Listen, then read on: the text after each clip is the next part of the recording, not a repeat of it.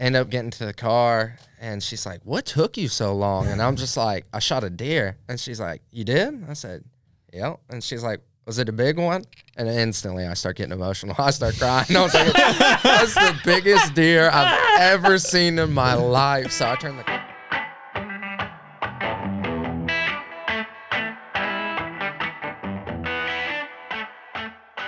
The HUNTR Podcast is brought to you by DeerGro. Heck yeah, man. Dude, we put a lot of food in the ground every year, you know, seemingly more and more, and uh, we have a ton of fun with it during the off season. Uh, there's some struggles that come with it too, though, right? Obviously, the back of my truck is evidence, you know, right now. It's a couple weeks after uh, I jackknifed, you know, a 4,800 pound uh, material spreader, you know, as I was coming down, and it's just it was too much weight for my truck there. But, you know, all those struggles aside, you know, dude, DeerGro really has been a staple for our food plotting process uh, for several years now. Yes, we like to put lime and fertilizer on the plots, you know, if we can, but there are some that it's just we're not able to get to them or it's not feasible for us to get out of state with that stuff. And so DeerGro is kind of the, the quick and easy, but still super effective option for us to be able to get the most out of those food plots that we can every year. Yeah, and I mean, we're guilty of overanalyzing things just like everyone else, but that's the best part about Deer Grow is that it's going to create healthier soils, which in turn makes better food plots. And the fact is, is we can simply spray plot start or plot till when we put the seed in the ground, and then when that plant starts to grow, we hit it with boost. And we know that we walk away when we come back, it's going to be a great looking food plot. For anybody that's looking to try DeerGro, if you use the code HUNTR15, that's H U N T R 1 5 at checkout for deergro.com, you're going to save 15% on any of your DeerGro products. It's a great way to get started on this and just see what the results are for yourself. Better food plots, bigger deer. And we're back. Ew. On our podcast, episode 158, in studio guests. Before we make introductions, though, I'm going to thank you guys for listening, for subscribing, uh, wherever you're watching YouTube, uh, Apple Podcast, um, Spotify. Spotify? Uh, yeah, we appreciate you guys Question mark? listening. Give us a follow, subscribe to our stuff. Um, you know, leave us a comment. We do read that stuff from time to time, and uh, we appreciate you guys tuning in. So we're jump right into it. So uh, we've got CJ Alexander, Heath Davidson in the studio. Okay. guys doing? How you doing? I don't, I would say Welcome, right now people are saying, who?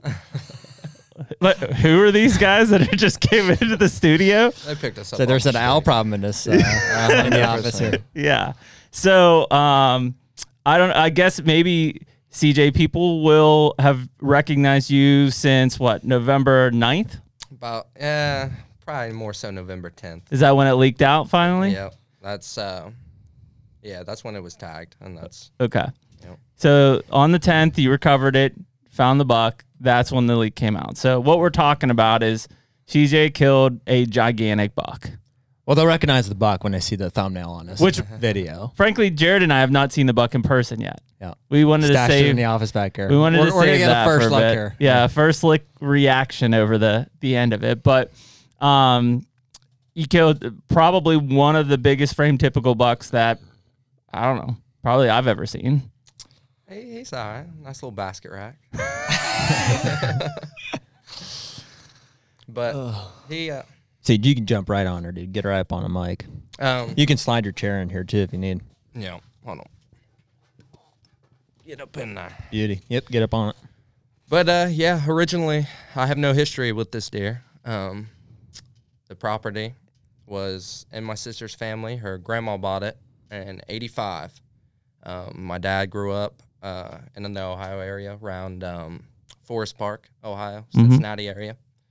Um, he's always been a deer hunter, but he's always been a different style of deer hunter than me. He likes that stalking up, rain, gun type person Okay, versus me. I'm bow hunt or nothing at all. But but I mean, your dad got you into hunting. um, in part, yes, he got me into guns. He was in law enforcement for 24 years, where Okay. we grew up in Highland County, Okay, and uh, he was the head of the SRT team and the sniper there too. So so guns were his thing. Yeah, yes, absolutely. Um, Don't swallow it. I got you. try you. not to. Appreciate you. Sometimes you just need a hand. I got you.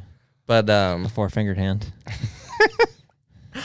Um, phew, but it was actually my brother-in-law who got Okay. me into hunting. Um, about ten years old.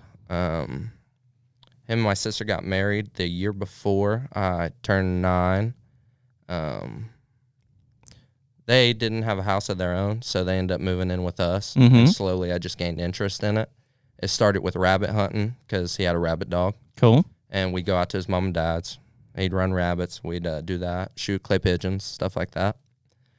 And uh, the next year, he asked me if I want to go out for youth season, and I said, "Yeah, yeah, I'll give it a try." Uh, funny story. First time I ever shot a gun, we went out to Tranquility Wildlife Area. I don't know if you guys know where that is. Is that like It- Southwest? Ohio? It's close. I think it's in Adams County. Oh, it is? Okay. Yes, and they have a gun range there, and he got a little youth 20 gauge shotgun. and I bet you, I watched him shoot three shots in about one minute, and it took me probably 45 minutes to fire one. Absolutely terrified of the gun.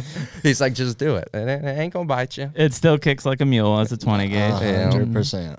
But uh, 25, 50 yards, I was all right. I Mhm. was sufficient enough to where I could kill an animal for sure. So um, I call him my Uncle Mike, but it was my dad's really good friend. Uh, he owned about 400 acres in Winchester, which is in Adams County as well.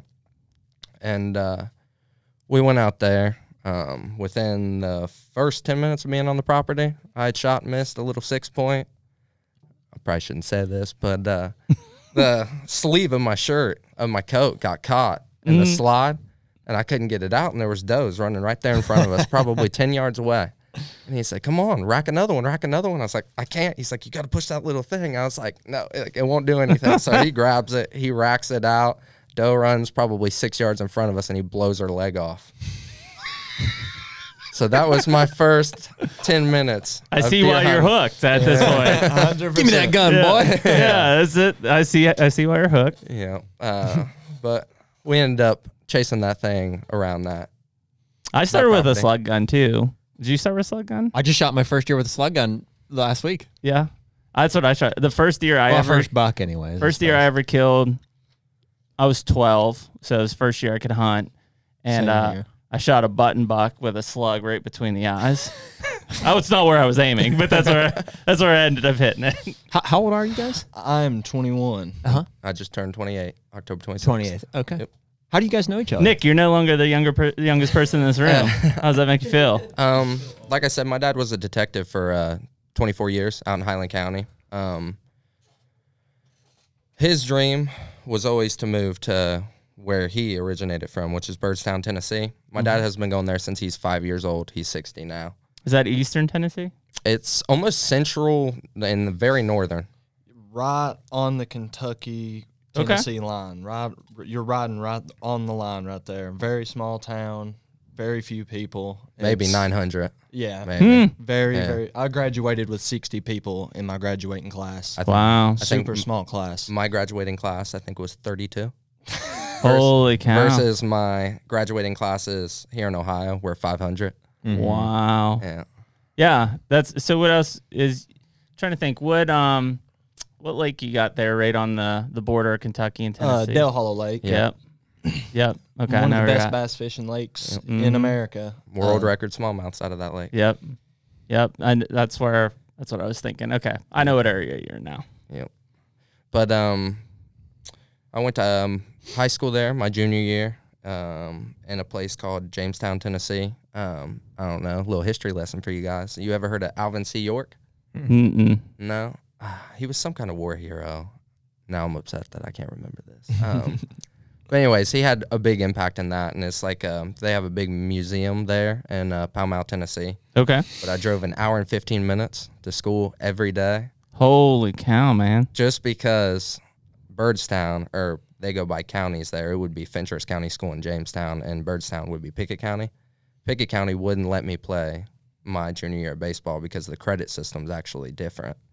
So it was driving an hour and 15 minutes every day and an hour and 15 minutes home. Just so you can play ball. Yep.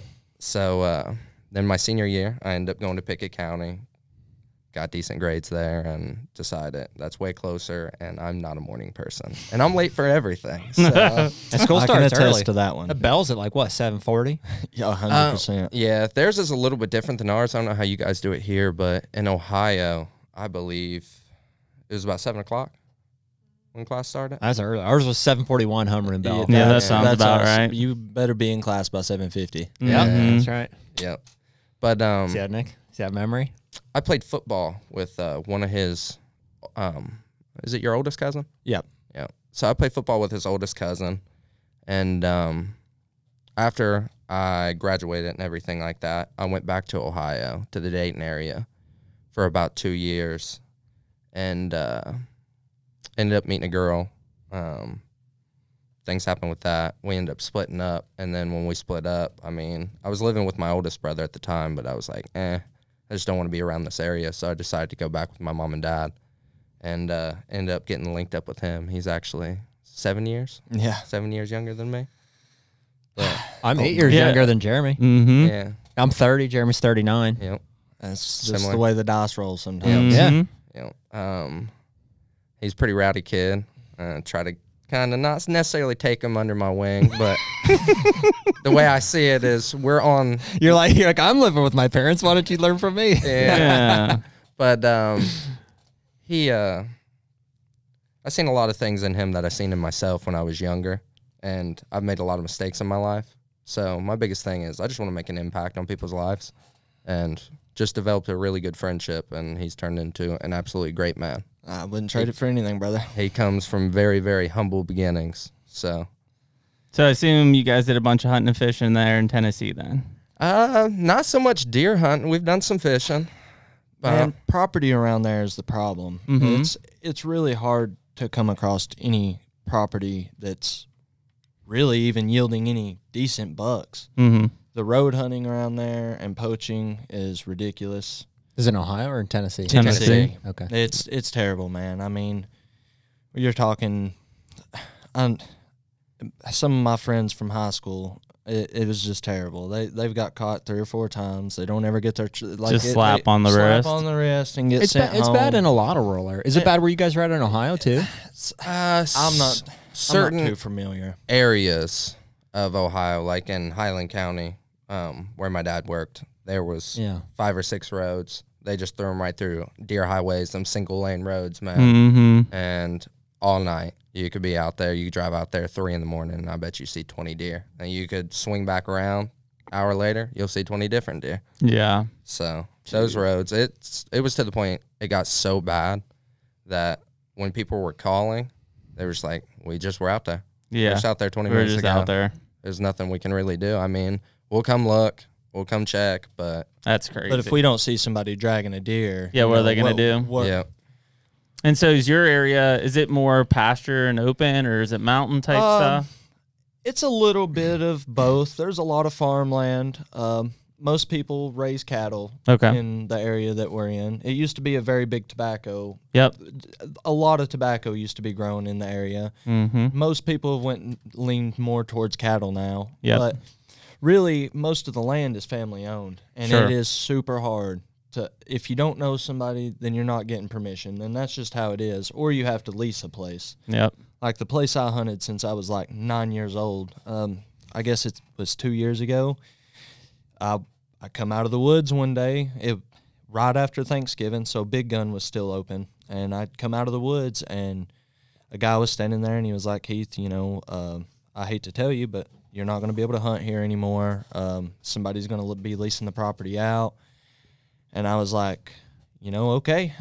so yeah, what are you gonna do? I mean, yeah, you can't you can't do it's anything. everywhere, man. It mm-hmm. leasing is, it- you know, we we've kind of talked about this around, you know, whether you talk about the baiting or whatever it is, is that more and more people are trying to lease ground to insulate themselves from other hunters, basically. A hundred mm-hmm. percent. So it's just going to keep eating more and more private land up. And you've got people, I mean, I know plenty of people who are leasing ground and they don't even hunt it. They just lease it because they don't want anybody else to hunt it. mm-hmm. And I mean, that's that's what's really starting to create, you know, such an access issue anywhere in the country. yep. Um, specifically over in that area, I couldn't tell you an exact distance, but like where I'm at in Ohio, Wilmington, Mm-hmm. I'm 40 minutes in uh, any direction will get me to a decent sized public land area. So if I can't find any private, I mean, Sure. I, I can bounce around. And his example, Not I, even close. I wouldn't be surprised if the closest state ground is probably 70 miles away. It- about two hours, Land Between the Lakes. Yeah. Yeah, in between the lakes, LBL. Yeah. which gets pounded. A a hundred percent. Oh Like, yeah, I, I was just looking. at there their, are some good deer in there, but it gets pounded. Yeah. I was looking at their Facebook page last night, I believe, and a group had killed six different eight pointers in the same day, and I was like, man, Just just mowed let 'em. them grow, guys. Yeah. Yeah. Like two two year old deer. I mean, b- would b- probably in the next two years been absolute studs. But you know, Mhm. you can't save them all. That's why we need Tennessee go to one buck tag, please. Yes, absolutely. How many can you kill in Tennessee right now? Two. Yeah. But uh, I think it was. I know when I first moved down there, it was actually three. Wow. Yeah. So Hmm. it's got three inch spikes. It's getting it. It's getting smoked. Yeah. Hundred percent. Yeah, I mean, I know you don't hear about. Well, I guess it was what a few years ago that kid killed that real wacky one out of Tennessee. Mhm. It was like 300 inch non-typical, but it Is that the standing world record? Yeah, yeah, Yes, yeah. Non-typical world record. but record. it had like a I don't know 130 inch frame. It just was like Right. Stickers and Matt, weird stuff. What's, Yeah, what's the name on that buck? Honestly, I have no Nick, idea. can you look that up? Just uh, world record archery buck. I believe it's 336 Mhm. inches. It's something insane for, like you said, a Yeah, 130 it's just inch a- frame. I yeah. mean, Have you guys frame. seen it? yeah. Oh Yeah. yeah. I haven't seen it in person, but Yeah. I have seen pictures. I saw of it in person. at I- ATA. The guy was carrying it around ATA, and Yeah. I remember looking at it. I was like, "That's not impressive at all." I know. No, no, it's honestly, and I mean, no, no disrespect to his deer, but Sure. it's ugly. You know, it's Yeah, it in- In, my opinion, like I would rather have a symmetrical. It's unfortunate rack. looking. Yeah. Yeah, hundred percent. Well, everybody said that um, they were talking about somebody trying to shoot it with like birdshot and velvet so that it would throw like all that weird. That sounds about right. Wouldn't surprise me, you know. I don't know. Can you pull it up? Yep, Wow. Tucker. That's the one. Just do images up at the top. See, this is why Corey didn't trust There it me. is. I said 330. It was 312. I remember. Yeah. yeah, look at that thing. Isn't that crazy? Weird. I mean, th- isn't isn't that like a mainframe like 130s? Yeah, Yeah. with just trash everywhere. Weird. Yeah. I would hate to be the person that measures that deer. Yeah, that would suck. Yeah. Can you imagine getting that trail camera picture and being like, "What the hell?" I know. That's crazy. Yeah. It's like I don't even know what I. It Yeah. What am I even looking at there? A shooter, I guess. Yeah, I mean, I I guess. guess that's really the only thing to think about. I mean, that deer is probably not that old. I'd say three, three and a half, right there, maybe four. Four. Four at the four. oldest. That's what I was thinking for. Hmm. Huh. crazy. I mean, what I think is kind of, and Jared and I have got on this topic a while here is like, obviously, with more and more trail cameras and cell cams and leasing and private land, you know, the the giant bucks used to be such a rarity. Yeah. Like when somebody would kill a giant buck, like it made North American whitetail, and they're like, that's like, that's where you saw it or heard it. That's the Rolling Stones of Yeah. deer hunting. You know, And now all of a sudden, like, I mean, just even look in Ohio in the last two weeks, I mean, uh, like the Ohio Big Bucks page, where they're posting, you know, multiple 180, 190 class deer like every other day. I'm not gonna lie. Uh, since this has happened, I've had a lot of people from the area, some 200 miles away from me. I, hey, you think it's this deer? Do you think this is your deer? I was like, brother, you're 200 miles away from me. I don't think it's him, but We'll get into the details. I mean, has anybody come forward with not one trail camera picture. that? Is mind blowing, dude. absolutely. That's Not what one. we. Because this property's 30 acres. Yeah, it's not big at all. Not big at all. Do you know if the surrounding properties are getting hunted? Honestly, I don't believe so because And I bought them. yeah, if, yeah, currently in the process. if so, yeah, they're the only properties in America probably not getting hunted. A Well, hundred percent. This road, um, it's in Blanchester is what it's by. I'm obviously not going to say the name of the road. no, but don't say the name of the It's road. It's very close to this very small. I wouldn't even call it a town. Uh, not even a village. Um, Midland, Ohio. It's really close to that, mm-hmm. And on both sides of the ends of this road that it was on, there's nothingness. And what kind of terrain are we talking? I mean, is it like farm country? Um, yes, a lot of bean and corn Okay. rotating. Um, I wouldn't say a lot of woods, but the patches of woods that there are, they are big pieces of timber, Mhm. but they are scattered pretty good distances. Like, for example, where I was, I would say that's the two biggest block of woods, and what separated it was there was a big bean field Mm-hmm. in between them, and then a tree line, and then right there on that tree line, part of that tree line, and up was my sister's property. So it was basically just funneled them down that tree line, back and forth. They would go from big woods to big woods, back. They had, uh, And we're talking big woods. We're saying like 20 acres, 50 acres. I would say those woods, I would say each of them are probably 70 to 80 acres. Okay. Maybe a little less. So multiple landowners have part of these woods on their property. I Absolutely. mean, I wouldn't call that a big woodlot. That's No. The Ramsey wood is 60 acres. Yeah. Yeah. Yep. And farm, I mean, and that's what I'm trying to get to. In like farm country, that's, you know, not as big as you get, but I mean, you That's see where quite we're a at. bit in- of woods. Where we're at in Illinois, I mean, there's not a section of woods that's bigger than 50 acres, probably. Sure. Honestly, while. the way you guys describe that property, it sounds The Illinois property, very si- similar to this. small block of woods, drainage with some cover, another little block of woods. Absolutely. My sister's property, it has two ponds on it. And um, honestly, before my sister just put this house on there and uh, they're just getting ready to move in. I think they actually started this last weekend.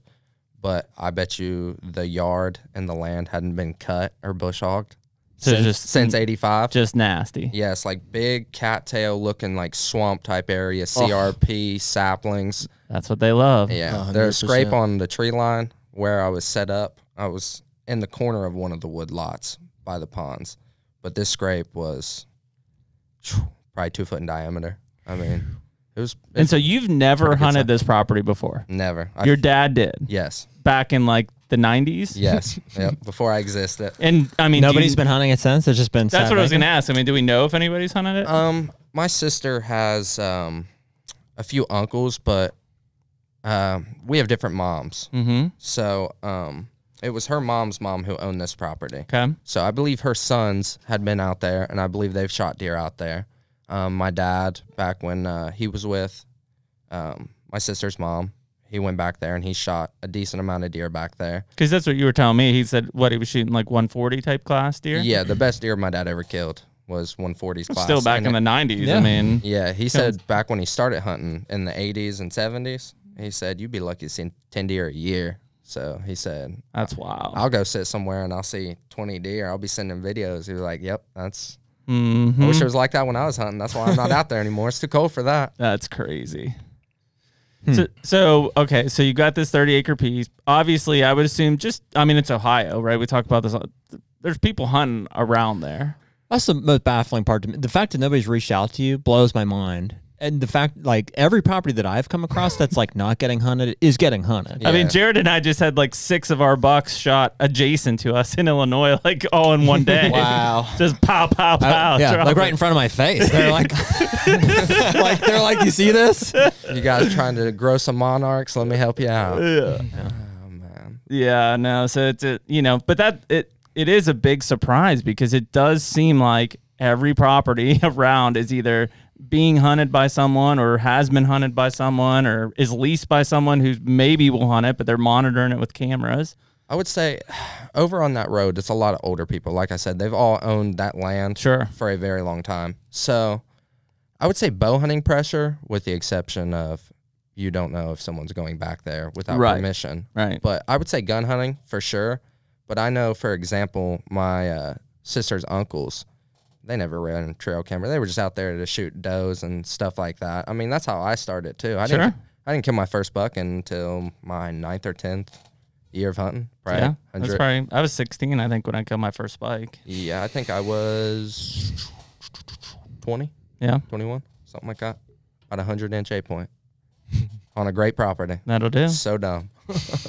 That's nuts, man. I mean, it it is. Um, and we'll dive down into the the rabbit hole a little bit, but you know, when you think about how much time, and Jared and I talked about, in fact, when we saw your buck, we're like, Jesus, like what the hell, you know? Just because you think about how much time and effort and cameras, and I mean, dude, we're we can't get a, a 170 on camera. Yep. And so, you know, if if you're cool with it, CJ, um, because I thought this, as you were explaining this to Jared and I, because I guess for a little background, right? You and Heath watch the podcast. This Oh, isn't absolutely. like we Yeah. didn't come and poach you guys and say, "Hey, you got to be on our podcast." Like this would be. So you guys are familiar with the podcast, which is funny. We were in Kansas. Let's let's bring them out. Can, can we bring no, them out? not yet. Not I'm tired of talking about them. I'm not bringing them out. Not yet. We're, we're going to. I promise. I won't hold you off too much longer. Really, Okay. I brought my 150 inch eight point, left him at home. yeah. Um, but so we were in Kansas, and what did you message him on I, Facebook? I reached out to Jared. Yeah, I sent him a picture which, of the deer. which Jared never even reads Facebook. So how he It was a stumbled miracle on that it- I opened that message because I I didn't expect you to reach out or. Like, we were coming back from picking like up that. day beers, is what we were doing. Yeah.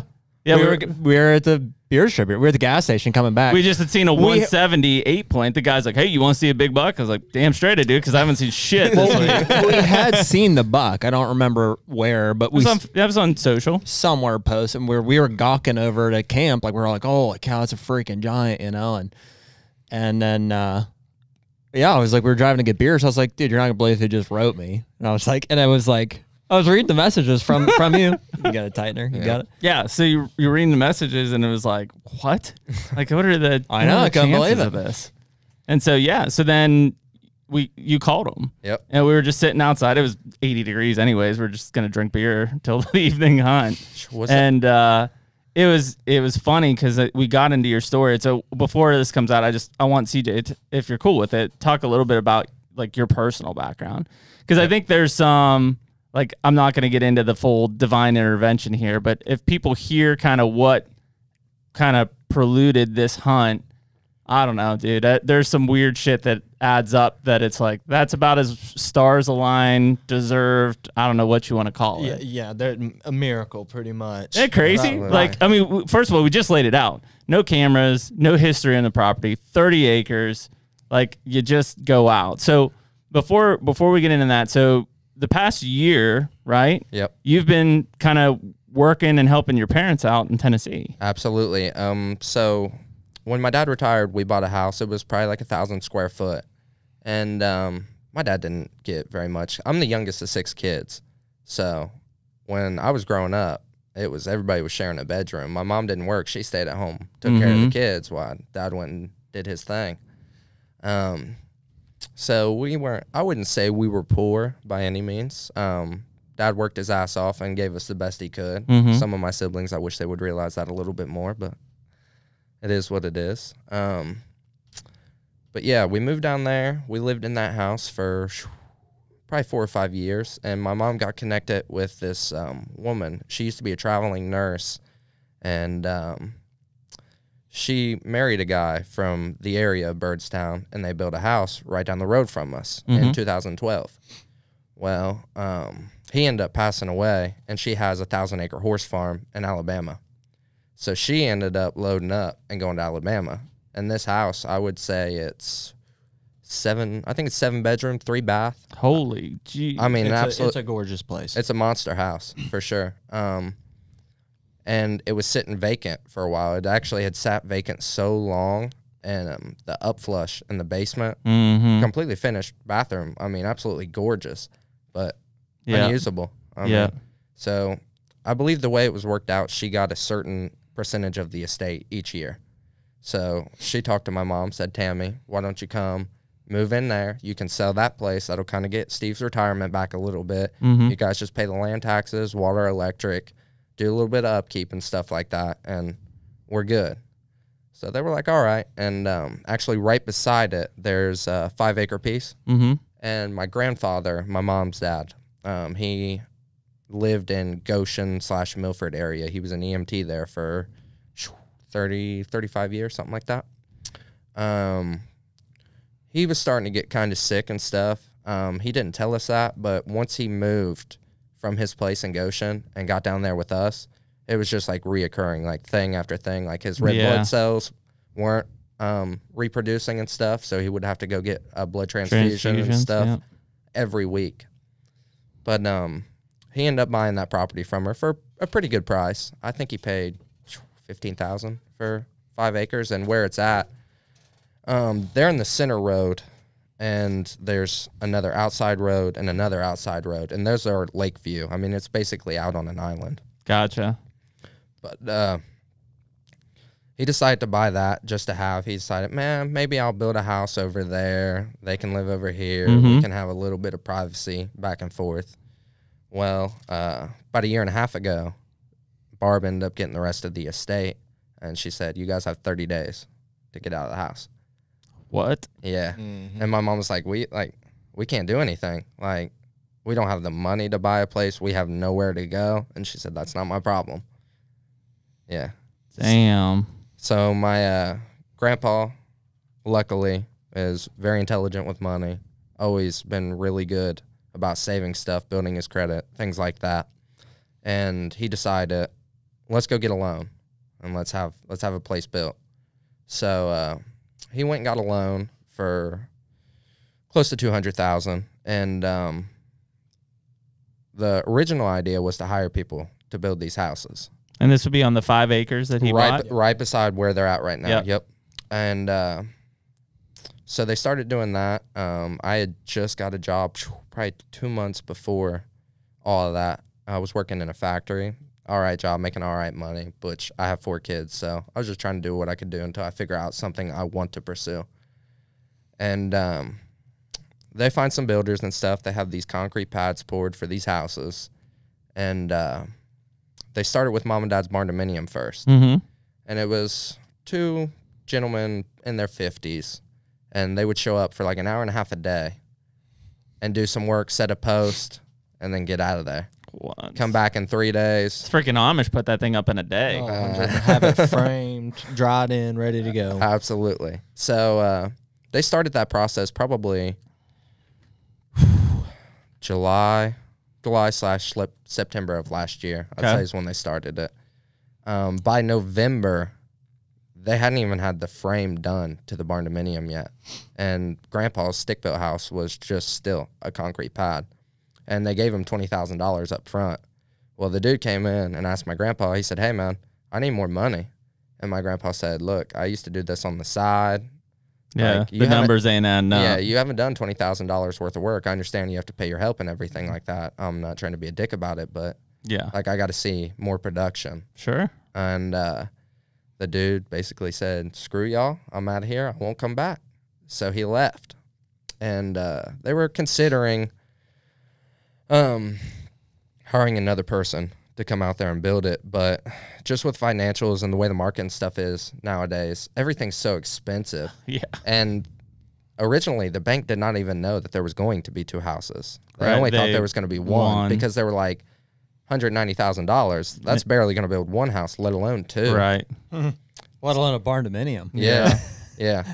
So uh, my mom ended up calling me and talking to me about it, and uh, my dad's built a few houses in his day. That's actually what he did before he was a sheriff's Before he was deputy. sheriff. Mhm. Yeah, um, there's actually a Bass Pro Shop um, right there near Fairfield, Cincinnati, Mm-hmm. and Dad had a huge part in that. He was actually the last person that went through it and did the punch punch list for everything to make Oh, sure that's everything cool. was good. That's awesome. Yep. Wow. I didn't even know that. So, uh, Dad's getting a little older. Uh, he's not in the best shape, especially since he retired. He was always on the go, on the go, on the go. And when he Mhm. retired, it was Shut it down. yeah, you'd be lucky to see him come out of the room once a week sometimes. I mean, when he was still allowed coming over to the house, we'd be sitting in the room, we go out, do stuff. Never seen him. Door always shut, just sitting there. Hmm. I think it depressed him, honestly. But uh, Happens to a lot of people that retire that, that they kind of lose their purpose and stuff. absolutely. Don't know what to do with themselves. Yeah, I mean they had a routine every day. Get up, A go do this. Yep, every and then it just stops. I think a lot of it is he started to realize he was getting older and he couldn't work the way he wanted to work. Not to say he's a bad worker now, but Mm-hmm. it just Oh, puts, I- puts him under a little bit longer than it used to. I get it. so My dad's the same way. um, she said, "There's no way your dad can do this by himself." And my other brothers and sisters, they all have, for the most part, they all but one of my older brothers has kids and has had wives or has wives, Mhm. husbands, etc. So uh, they just have no capability of doing it. And me and my fiance talked about it, and I mean, we both both weren't crazy about the idea because we actually started a long distance relationship. I was still in Tennessee, and she's from where we grew up, Mm-hmm. and um, we just started talking. I finally got to the point where I was comfortable on my own. Things were going good, and then boom, our paths hit. But we talked about it, and I was like, "Listen, no one else will do it, and I'm not leaving my parents without a house to live. They did everything they could in their power. I'm not saying they were perfect, but who is?" Yep. So we decided that's what we were going to do. They paid someone to go ahead and finish the frame of the barn dominium and metal it. And then I got down there and me and dad started working on the framing. We had the inside of it framed. four days, which It is not a very huge, long. no, it's not a huge barn dominium. It's Sure. about 950 square foot, but it's got a half loft in it, so really it's about like 1250, Yep. 1300, somewhere Yep. in there. So uh, then we decided to start on Grandpa's framing the outside walls, and uh, we actually started that February 9th, I think, of this year.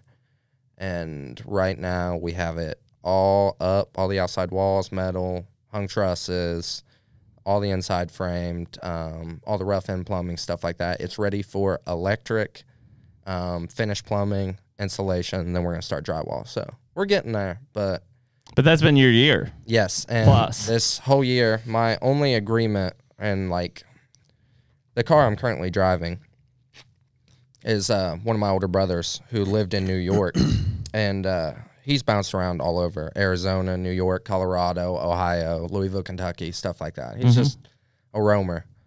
But uh, he said, "Hey, I got this car. I heard your car just blew a head gasket." He said it's three hundred nine dollars a month. It's 2017. Gets 40 miles a gallon. He said you could use it. He said I don't want it. I'm gonna ride subways. I'm gonna get Ubers. I'm gonna walk in Colorado. That's just lifestyle I like living. So we did that probably right as I got that job. So I told my grandpa, I said, "Look, just pay my car payment. Like that's that's all I care about." And my fiance, being the rock star that she is, has been working, taking care of the kids, and holding it down for us. And um, It ain't easy. Oh, it's it is not. We have a eight year old girl, a five year old boy, a three year old boy, and a two year old boy. So the Where, where's your family living in the meantime? um, we actually live in an apartment in Wilmington. So Okay. So you guys are renting right now? yes, absolutely. And uh, I told him the car payment. If they want to throw me cash here and there, that's fine. Like if I'm going back to Ohio, because obviously I'm not going to stay gone away from my family Sure. and my kids for a whole year. Uh, I couldn't do that. Um, so they would pay my gas money, go back and forth. But I would say in this past year, roughly, I've probably made four thousand dollars. I remember you told us that in Kansas, and I was like, "What?" Yeah, yeah. Hard to kind of survive like that. But I mean, in the end, man, we need money to live and stuff like that. But the sentimental value for me and the meaning, my dad would do anything in this world for me. So I think Mhm. it's only fair that I give him what he gave me because now it's my turn to do that for him. Yeah. So Well, Pretty cool. You're getting to work on it together too. I mean, is he still helping you out with it? Absolutely. Um, and we've talked, and basically, when my grandfather passes, it goes to my mom, and then when they pass, eventually it will go to me. And we just actually had it appraised, just the structures and the land now on it. The first appraisal was, I think, 140 on mhm. the idea and the drawing yeah. but uh, they just came in at two hundred and seventy thousand dollars, not Damn. not finished. So Yeah. So once those are finished off, you're probably looking close to four. you've especially got in good. Area. Yeah. Well, and I mean, land and things like that just keep going up. Yeah, hundred You know, it doesn't stop. And we haven't even used. We didn't even use all the loan money because I mean I'm sure you guys are familiar, but if you're going to build something, you only have a certain amount of time before that loan defaults. Yeah, And then you got to redo it all again. Yep. So that process already happened, and we were kind of stuck. Um, uh, probably honestly, right about close to when hunting season opened in Ohio. So, uh, which I told them, I was like, "Hey, like you guys know, deer hunting and ball. That's that's my thing. I'm not Yeah. saying I'm gonna be going for two months at a time, but I would like to go get some Sure. time in." And uh, so it defaulted, and they started working on all that, and I started sitting this year, probably October 16th, I think was my first sit. First sit this year, Yep. and, And, not on that property. nope, not on that property. Different state ground. I was doing ground. hang and hunts. And last year I killed 151 and like two eighths inch eight pointer, 25 inch main beams. I mean, a decent, a, a good deer. Yeah, Biggest that's deer I've ever killed. That's good deer. A very So- good eight pointer. yeah, it's a good I deer. would shoot it any day of the week. Yeah, 150 inch eight points, a big deer, and uh, coincidentally enough, and that was on state ground. that was not on state Okay. ground. That was on private, but I no longer have access to that private ground. Gotcha. Um, it actually got leased out. Of course So- it did. Yeah. Um, cool enough. Um, one of my buddies, Corey is his name. He found the sheds off of that deer that I killed, three- Really? three miles away from where I shot him. Both sides. Um, he found the one side by himself, and then the left side. Um, I just started getting into shed hunting, probably two years ago with him, Mm-hmm. and uh, me and him found that left side together. And once he came up there to help me get him out, he looked down at him. He's like, "Man, that's the sheds that we found." I was like, "Are you sure?" And he said, "Absolutely. Look at those brow tines because they kind of kick in." Yeah. And uh, sure enough, it was. Whoa. Yeah. So That's wild. he ended up giving me those sheds um, off of that deer, but What did you say that deer ended up growing in a year? Like 20 something inches? um, he with roughly, I guess, the 16 inch inside spread, he was 130 31 inches. Mm-hmm. So Yeah, sounds about right. 20 inches. I would say he was That's big eight though. Anywhere four and a half, five, Yeah. probably.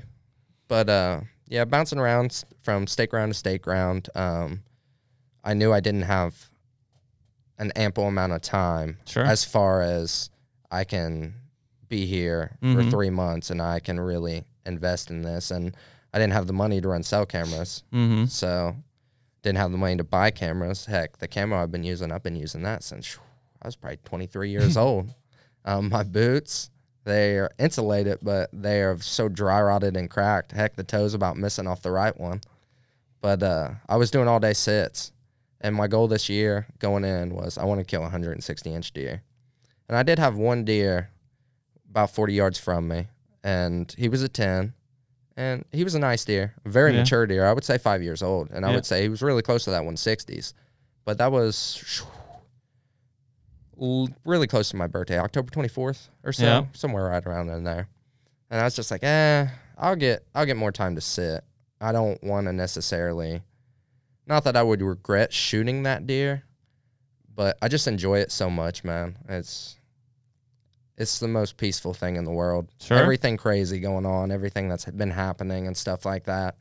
I just enjoy watching them, learning. So uh, I decided to pass him. Um, and if I ate tag soup, I ate tag soup. That was just the risk I was willing to take. Can't kill big bucks if you kill little bucks. Absolutely not. not. And uh, my sister actually, I had her sign the permission slip um, October 1st. I was like, I don't even know if I'll go out there.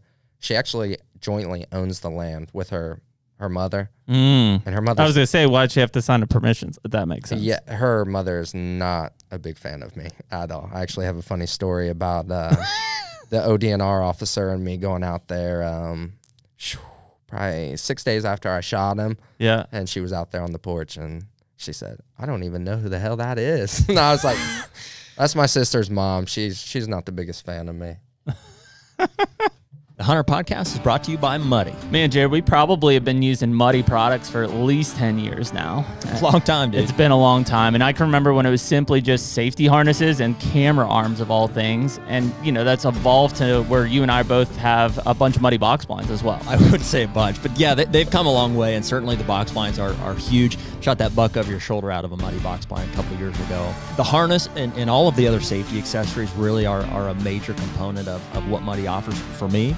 Um, you know, we've had some injuries in the past. You know, some, some tree stand accidents. This, this is all back before we were using, uh, you know, frankly, harnesses, uh, the lineman's belt while we're hanging stuff, and the safe lines. I have those in every single one of, uh, you know, our fixed tree stands now, and uh, so we really have made safety a priority. Uh, that that's a big deal for us, and uh, you know, Muddy has everything we need for that. Yeah, and I think uh, the cool thing about Muddy is anyone listening to the HUNTR podcast can save 20% using the code HUNTR20. That's H U N T R 20. Uh, anything that you can see on the Muddy Outdoors store online, use that code, save yourself 20% for this hunting season. Go Muddy.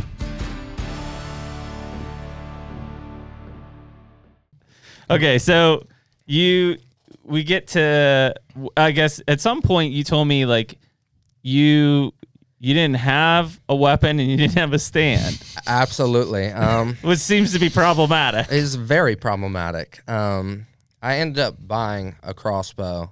Um, It's a dirty word. That was one of the words we said earlier. You can't say on the podcast. so solely for the purpose of my fiance has not really been around someone who loves deer Shoots hunting. like- crossbows. Now she blame you. I don't know if she's been around someone that's even shot anything, to be honest with you. But uh, she was, I talked to her about it a lot, probably to the point where she's like, "I do not care about this. Just please shut up." I'm gonna nod my head and say yes and smile, Oh, just to make you feel good. But We've uh, all been there. Yeah. um, 100%. she uh, talked to me before season, and I said, "I'd like you to go out and sit with me." I was like, "I don't know where we would go. I'd have to find some place. I really don't want to get you 30 foot up in a tree Mm-hmm. for your first time." Um, but we'll figure something. out. and brush on public land. Yeah. Doesn't sound like a fun, Fun date. No. So uh, she's like, I, I would be interested. I said, so if I buy a crossbow, you'd be willing to go out there? And she's like, I mean, as long as it ain't negative 20 outside, yeah. She's like, as long as nobody sees us. exactly. So I bought, and it ended up costing about 500 bucks. It had a silent crank on it and everything like that. So if she missed or something like that, she would be able to crank it. I miss or something, I'll be able to crank it. And uh, it shoots 425. So obviously, Yeah, that's blowing through. stupid fast. Mm-hmm. But um, I shot it, got it sighted in, and uh, Sighted in at 100. not quite a hundred, about about sixty, about Uh-huh, 60 uh-huh. But um, Is it a crosshair or do they have pins? um, so this one specifically has like a big dot for your twenty, and I believe it's a five dot. Um, Oh, yeah, so down. it'll so Yeah. slowly get smaller dots. Kids Raven has that same one. I don't Yeah. know what, if it's like their scopes, but yeah. Okay. Yeah, and um, Are they on? Like if you sight it in for twenty, it's it's out. It's good out to whatever. honestly, surprisingly enough, you would think there wouldn't be much drop on it, but the sixty yard dot, you have to aim a decent amount. Mhm. There's a pretty good drop. Yeah, I and would you say- can't adjust them individually, like a you know, like a single pin where you're putting different tapes on. I guess that's what I'm asking. yeah, it do you doesn't sight them all in exist. individual? No, No. you sight No. the 20 in, and then it's and supposed to be. hope and pray that they're all where you want them to be. I know my um. Just hope and pray. There's no adjustment. Well, so I know that scope that I have on the kid's crossbow has like some sort of dial Yeah, on the just stretch 'em front out. for the speed. the feet per second. Yeah. Yeah, Yeah. but I don't know how accurate that is. Um, the more high end crossbows and stuff like that, you can buy aftermarket scopes that will do that. Yeah. But this scope, I mean, it's an all right crossbow, but it's nothing like It's just point and shoot. blow you away. Yeah. Yeah. Um, but uh, I ended up having to go back to uh, Tennessee for a few days to. Uh, my dad cut a tree down, and here recently he had a bump, almost like a knot, pop up on his right carotid artery, and he had been feeling really dizzy and stuff. And my dad's already had three heart attacks, and his father passed away from a massive heart attack at 54 years old. Jeez. Yeah, so that runs in his side of the family. Honestly, I think my grandpa Larry was the oldest one of the Alexanders until my dad. We had a lot die in the 40s, 50s, all of heart attacks. Wow. Yeah, so uh, he felt so bad. He's a very old school person. I watched him drop a 700 pound freezer on his foot and snap his foot completely in half, and he just yelled for, oh! and then he's like, "Ah, I look like a baby in front of my son." I was just like, "You're out of your mind." I said, "I've carrying a refrigerator through the yard. Pick this thing up off of me, CJ." And then we went right back to loading it. He's he's something else. But um, he cut a tree down. Uh, he cuts grass and stuff around the neighborhood. That's kind of his thing to pass his time now. And uh, he cut this these two big trees, and um, all this started happening. And he had to go to Ohio because that's where he goes to the doctor. Gotcha. Tennessee doctors are not not the best. Like if I have a if I'm having a heart attack, I'm driving all the way to Kentucky. I'll take my chances. Yeah, get up to Louisville or Lexington. Yeah. Unless you're going to Vanderbilt or Knoxville. or Yeah, that some- makes sense. Something like that. But uh Dad's been going to that doctor and he actually went to that dude's dad for past 40 years. I mean, a long Mhm. time. So basically very familiar with him. Yep. Um, I ended up going down there and recruited Heath, um, our buddy, whose Paul owns a um, logging company. His name's Jake, and somehow one of our buddies, Adam, got swung into it. He got invited over, and he's like, "What are y'all about to do?" And I was like, "I'm about to go cut up some trees." Like, I'll come with you guys. so uh, we cut these trees up and uh, get them all done. Uh, end up having to load them up on a, I'd say probably what, 15 foot Yeah, 15 double, or 16. double axle trailer, and uh, put them back behind the two new houses because they're going to run wood stoves. Got it. Yep. And uh, dad was getting paid for the job, and he was freaking out because he's like, I don't want it to look like a mess. Sure. Like they come up there for their vacations and stuff. They don't live there, so didn't want to do that, and I didn't even tell him. I just drove up there. I was like, "Screw this! I know him. He's gonna end up going out there and Trying to heart do it attack anyways, and yeah. be laying out there dead." So we went up there and did that. Um, the dude asked me, he said, "Do you want me to pay you, or you want me to pay your mom?" I was like, "No, brother. I just did it to help my dad." I said, "Pay my dad. I don't want no money from it." And um, so yeah, we did that, and uh, I hung out for the rest of that night, and then uh, Sunday I think is when I headed back, and that would have probably been right around November first. But when I was down there, I went to shoot my crossbow, twenty yards. Sat there, ranged it out, uh, got down on the ground. It's actually the stirrup. You can pull it, and it'll sit up and almost be like Mhm. a tripod. And I shoot, and I'm like, "What the hell just happened?" Arrow did not hit it at all. Um, and it was a bunch of logs behind it too. So I was like, it'd be stuck in that or something. So I'm going there looking, can't find this bolt anywhere. So I'm starting to get pissed. And then I walk back up to the crossbow. The string snapped right in half. Didn't even notice it. Didn't sound different. Nothing like that. Wow. Literally, probably 20 shots.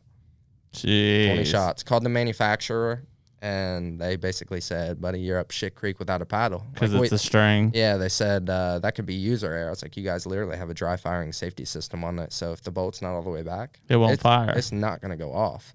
And I've been shooting bows since I was 13, 14 years old. But I mean, I get it. I get it. They're just way. wound too tight, man. You you can't pack those bows into 400 plus feet per second. They- They're not. Mm-mm. I think that's just too much. Because remember that guy that was elk hunting Yeah. uh, with it? He blew up two, but like during that week, and I was like, how do you blow up It up? just doesn't sound like statistically. It's like they, you couldn't sell those things if they blow up as frequently as I've heard about. It seems like they're the more that they try to go up in FPS, it's just Durability is just not yeah, there. it's not there. I'm Uh, sure there has to be some. Well, I know Raven went through a big recall at one point. Did they? Um, yeah. was there I don't- user error? Like, did you have a bolt in it? Was there like, do you think you did something wrong or? Honestly, no. I really don't think. But it's it's hard to say. Um, did you ever find a bolt? weirdly enough, when we cut that tree down and stuff, I was backing the truck up and he, he got out of the truck and he said, Hey, Dick. And I said, What? He said, You want your bolt back? And he reached out and picked it up. I was like, No kidding. So it, it shot the bolt. it did shoot it. and it was yeah. through it. Yep. But That's it only crazy. went like eight yards. Wow. Yeah. Yep. Um, So it must have like as it was shooting, it broke and it didn't have the force. yeah, it kind of just slapped her out there. Huh. Yep. And weirdly enough, the whole reason I bought the crossbow that I bought is because I was going to buy a Killer Instinct. And my fiance and him kept sending me pictures of them having limbs break. He's like, bro, I wouldn't buy that. I'd pay a little extra money to get a more durable crossbow. Son of a Bad bitch. Guess Bad what? advice. Guess what? More money, still no durability. What did you buy? A TenPoint or something? Uh, CenterPoint. A center, Center point. point. Yeah. Yeah. Yep. Um, and you bought that so that your fiance could also hunt with that, or it was just it was you're like, hey, Absolutely. we have limited time, and Um, I did it mainly for her because I, I primarily shoot compounds. I mean, that's what I've. oh, killed. di- I'm not. You don't have to make excuses. I'm just yeah, asking. It's yeah, primarily shoot compounds. Um, last year I the eight I shot I shot with a Hoyt Defiant 30, and in 2016, 2017, when those bows came out, I actually very dumb financial decision. Anyone that's in college, do not do this. Spent three grand on a Hoyt Carbon Defiant 30, and uh, yeah, that was not the best move. Ended up selling it like five months later for like five hundred dollars because I needed the money. Mm. Wish I would have known you then. Yeah, absolutely. What, so what happened to the bow that you shot last year? Um, I ended up selling it just because, honestly, I was like, I want something newer. Um, I guess I'm high maintenance. I, I want the newest and the best stuff, but sadly, financially, that's an expensive hobby. Sure. Uh, But remember what I told you on the phone, right? I do. They're sending you an RX-8. You didn't have to do that. I, I, I didn't do anything. I just called Hoyt and told him what was happening, and he's he's like, "What do you want?" I was like, "We want a loaded RX-8." I greatly appreciate it, guys. I really do. Yeah, I That's- mean, we gonna just, send it to him. yeah. I'm gonna I'll get your address and we're gonna send it right to you. I appreciate that. Yeah, he was real. cool. They were cool as hell. They were like, "Yes, definitely." Yes, that's absolutely. So you'll be you'll be in the chips again. Well, when I told her, And I he can to- inherit your crossbow. I, I think I'm good on this. So Sorry, Heath. Uh, when I talked to you guys, I told my fiance about the conversation because I was kind of fanboy, and she's like, "Oh, so that's my crossbow now?" And I was like, "I guess so." There it is. Well, so that one blew up. So so where'd you go from there? Um, my buddy Corey that I was telling you about that I found uh, that shed with, and he Yeah. found the other shed. He's got an Excalibur Matrix 380, which is a recurve crossbow. Oh, yeah? he's had it for about 12 years, and um, he is honestly a more talented deer hunter than I am. He's more knowledgeable and everything like that. Um, we're the same age and everything like that. is he from Ohio? he is. Mhm. Yep. Um, he's actually from Lebanon, I believe, which is about 30 minutes from Wilmington or so. But uh, so he said, "Well, buddy, I'll tell you what. During the week, you can definitely use my bow because I wake up at four in the morning for work and I don't get home until 6 So there's Mhm. no way possible. Yeah, I'm not for getting out. yeah, and he is very invested into it, um, and has a lot of Tactacams spread out all over the place. So hmm basically, if I ain't got something in daylight or something that I'm interested in shooting, I'm not gonna go out there and put any presence on the property, unless it's to put corn out. hmm Yep. Yeah. But um, I said, all right. And uh, he said, what about a stand? And I said, I still got my sticks. Um, and he had a old, not an old hang on, but not a very like high end hang on. Sure. And uh, that's what I was using for my hanging hunts. But um, I actually left my stand hung up in a tree on state ground. And uh, when rut started kicking in, like I wasn't seeing really any deer, and I kept talking to my dad. He's like, "You need to go out to your sisters. You need to go out to your sisters. I'm telling you." He said, "I know it don't look like much." I said, "But go out there."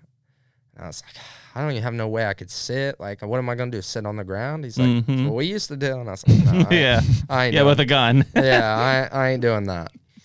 But um, he said, "Well, I got a summit climber." He said, "I don't know if you got a tree out there, but if you want to, you can use it." So uh, So you're packing in a 30 pound climber on your back. a- absolutely. um, actually, Is that I- what you killed this thing from? Yeah, The I- Summit Climber. Yep. Hmm. Yep. Um, uh, her mom doesn't go to work until like 5:30, 6 in the evening. So what I had Carissa do the day I hunted it, she pulled up to the edge of the property, down past the house a little bit, and I got out of the car and I walked the edge just because I was like, I don't want no confrontation, and I, she's not going to be anywhere near me, and So you were planning an all day set. absolutely, yep. I got in there about five o'clock in the morning. And how far is the farm from your place? Uh, yeah, about 15 minutes. Okay. Yep. Um, so I'm sitting there. Um, I don't like using flashlights or anything like that when I go in, and that stuff was. Yeah, but you've never been on the property. I've, I've, I've been on it, but it had been a long time. Um, I fished those ponds. I've been there with my sister here and there, with Yep. going to see her grandma Joe and stuff like that. But um, yeah, uh, walked back there, and I was like, I knew from looking on Google Maps and stuff I was like say, that. are you using an onX or Google Maps? Uh, Corey looked at it on onX. I had it pulled up on Google Maps. Yeah. But uh, we seen those two big wood lots, that agricultural field, and that finger of woods that connected them on my end. mm-hmm.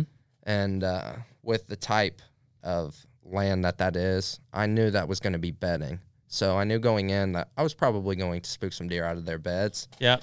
But I mean, chances are they're going to come back through. Uh, the, that's the main source of water around that place. Um, bedding. There's food right there by me. Did you play with wind at all? I did. Yep. Yep. I- I'm trying to envision it. Like where you're hunting, is it's a brushy connecting piece between two bigger blocks of timber. Yep. It's That's what it is. literally uh, the tree line. I would say if you're standing on one edge looking into the uh, ag field, the edge of the tree line by that ag field, it's probably 20, 20 yards wide, long. Okay. But um, I just walked down that right corner of the property and went in the right back corner, kind of glanced around, tried to find some trees. Um, and Yeah, because you're in a climber, they got to be pretty damn straight. yes. Um, Am I he- am I hearing you wrong, or it sounds like a no brainer? Like when you look at it, it's like here's two major woodlots and there's a brushy tree line that runs down the center of them. absolutely. Okay. Uh, I was like, chances are, with the time of year it is, and chasing and stuff like that, I know no one's on that property, so Yeah. I could see them if they get locked down or something like that. A mature one, I could see them taking them to that property. I mean, it would make sense to me. They got everything they need right there.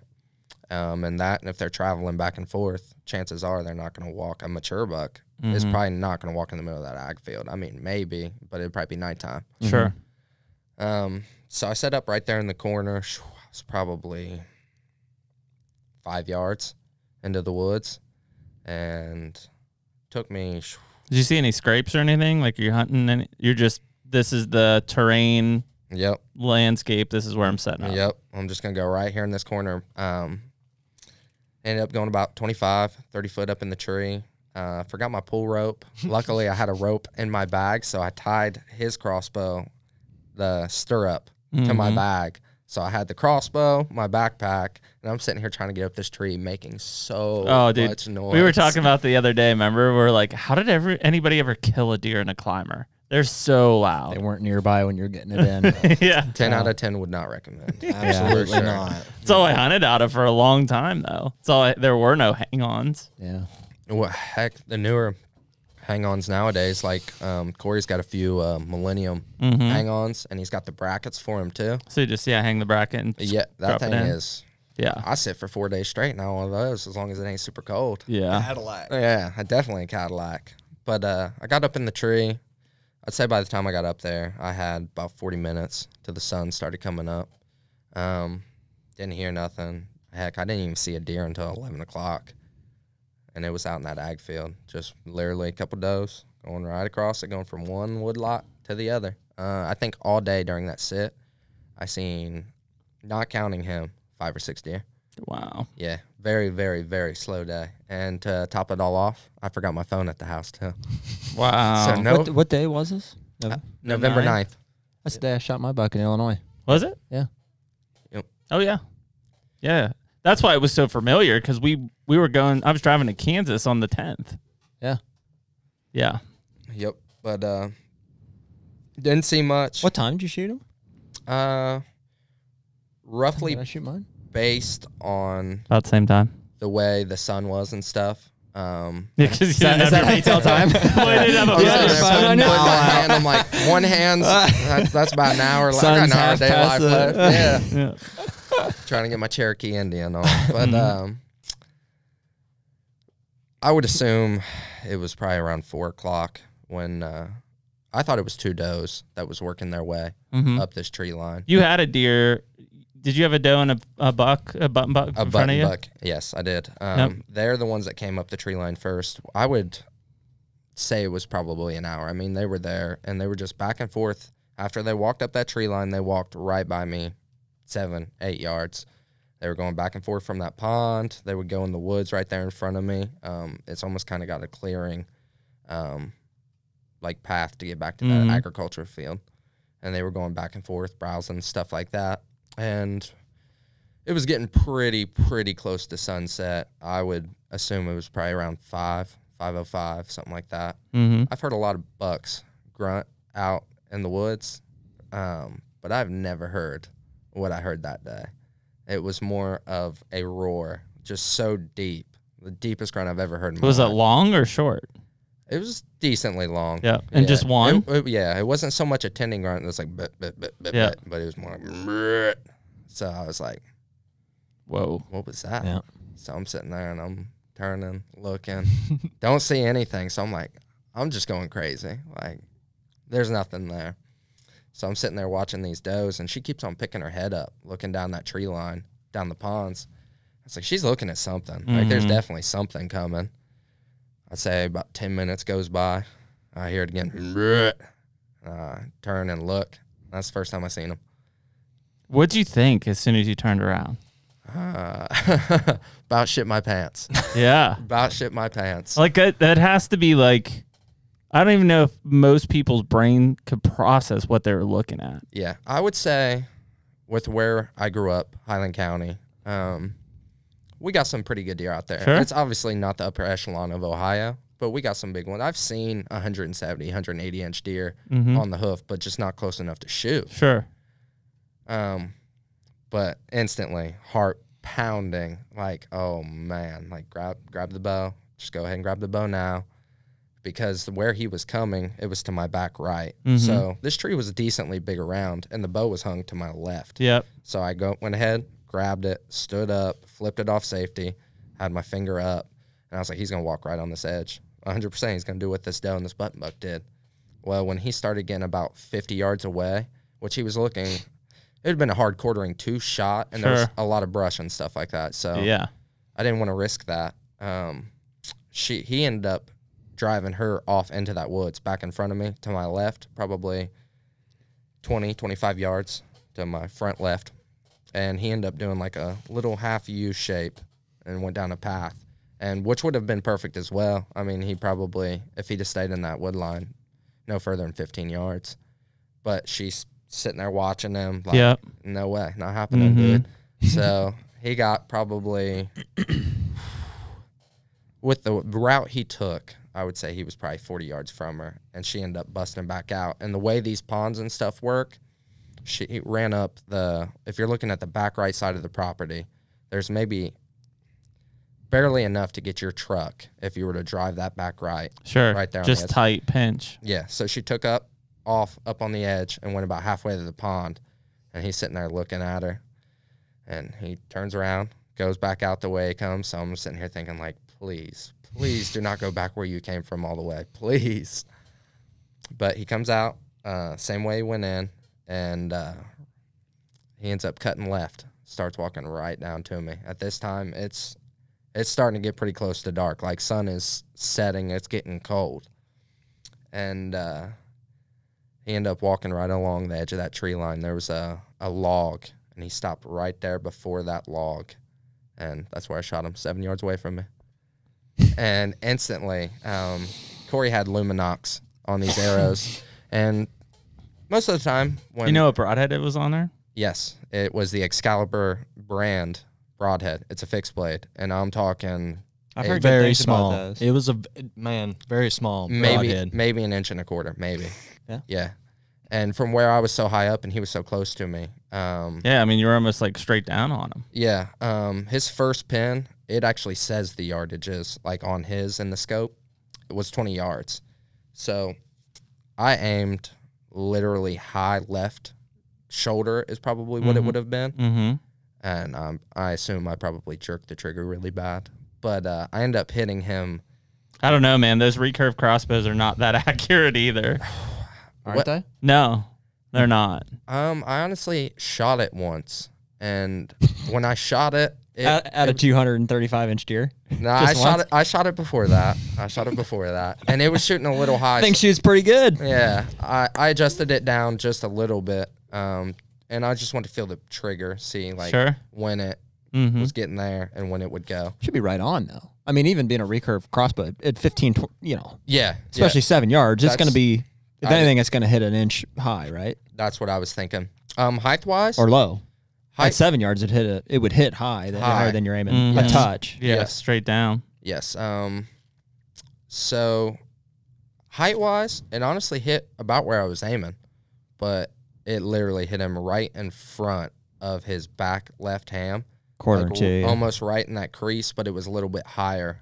So where that back strap comes in, it was probably two inches from that spine. Holy spine yeah. shot him, and um, the angle he was not quite completely even with me. He was still a little So it's behind like me. quarter to. Yes, but with like the brush and stuff, Mm-hmm. it was that or wait for him to get past me and have no idea what that doe does. Say she takes off and runs towards the And front of the property, he's gone. yeah. What do you, So- what do you think happened? I mean, it obviously didn't hit where you were aiming.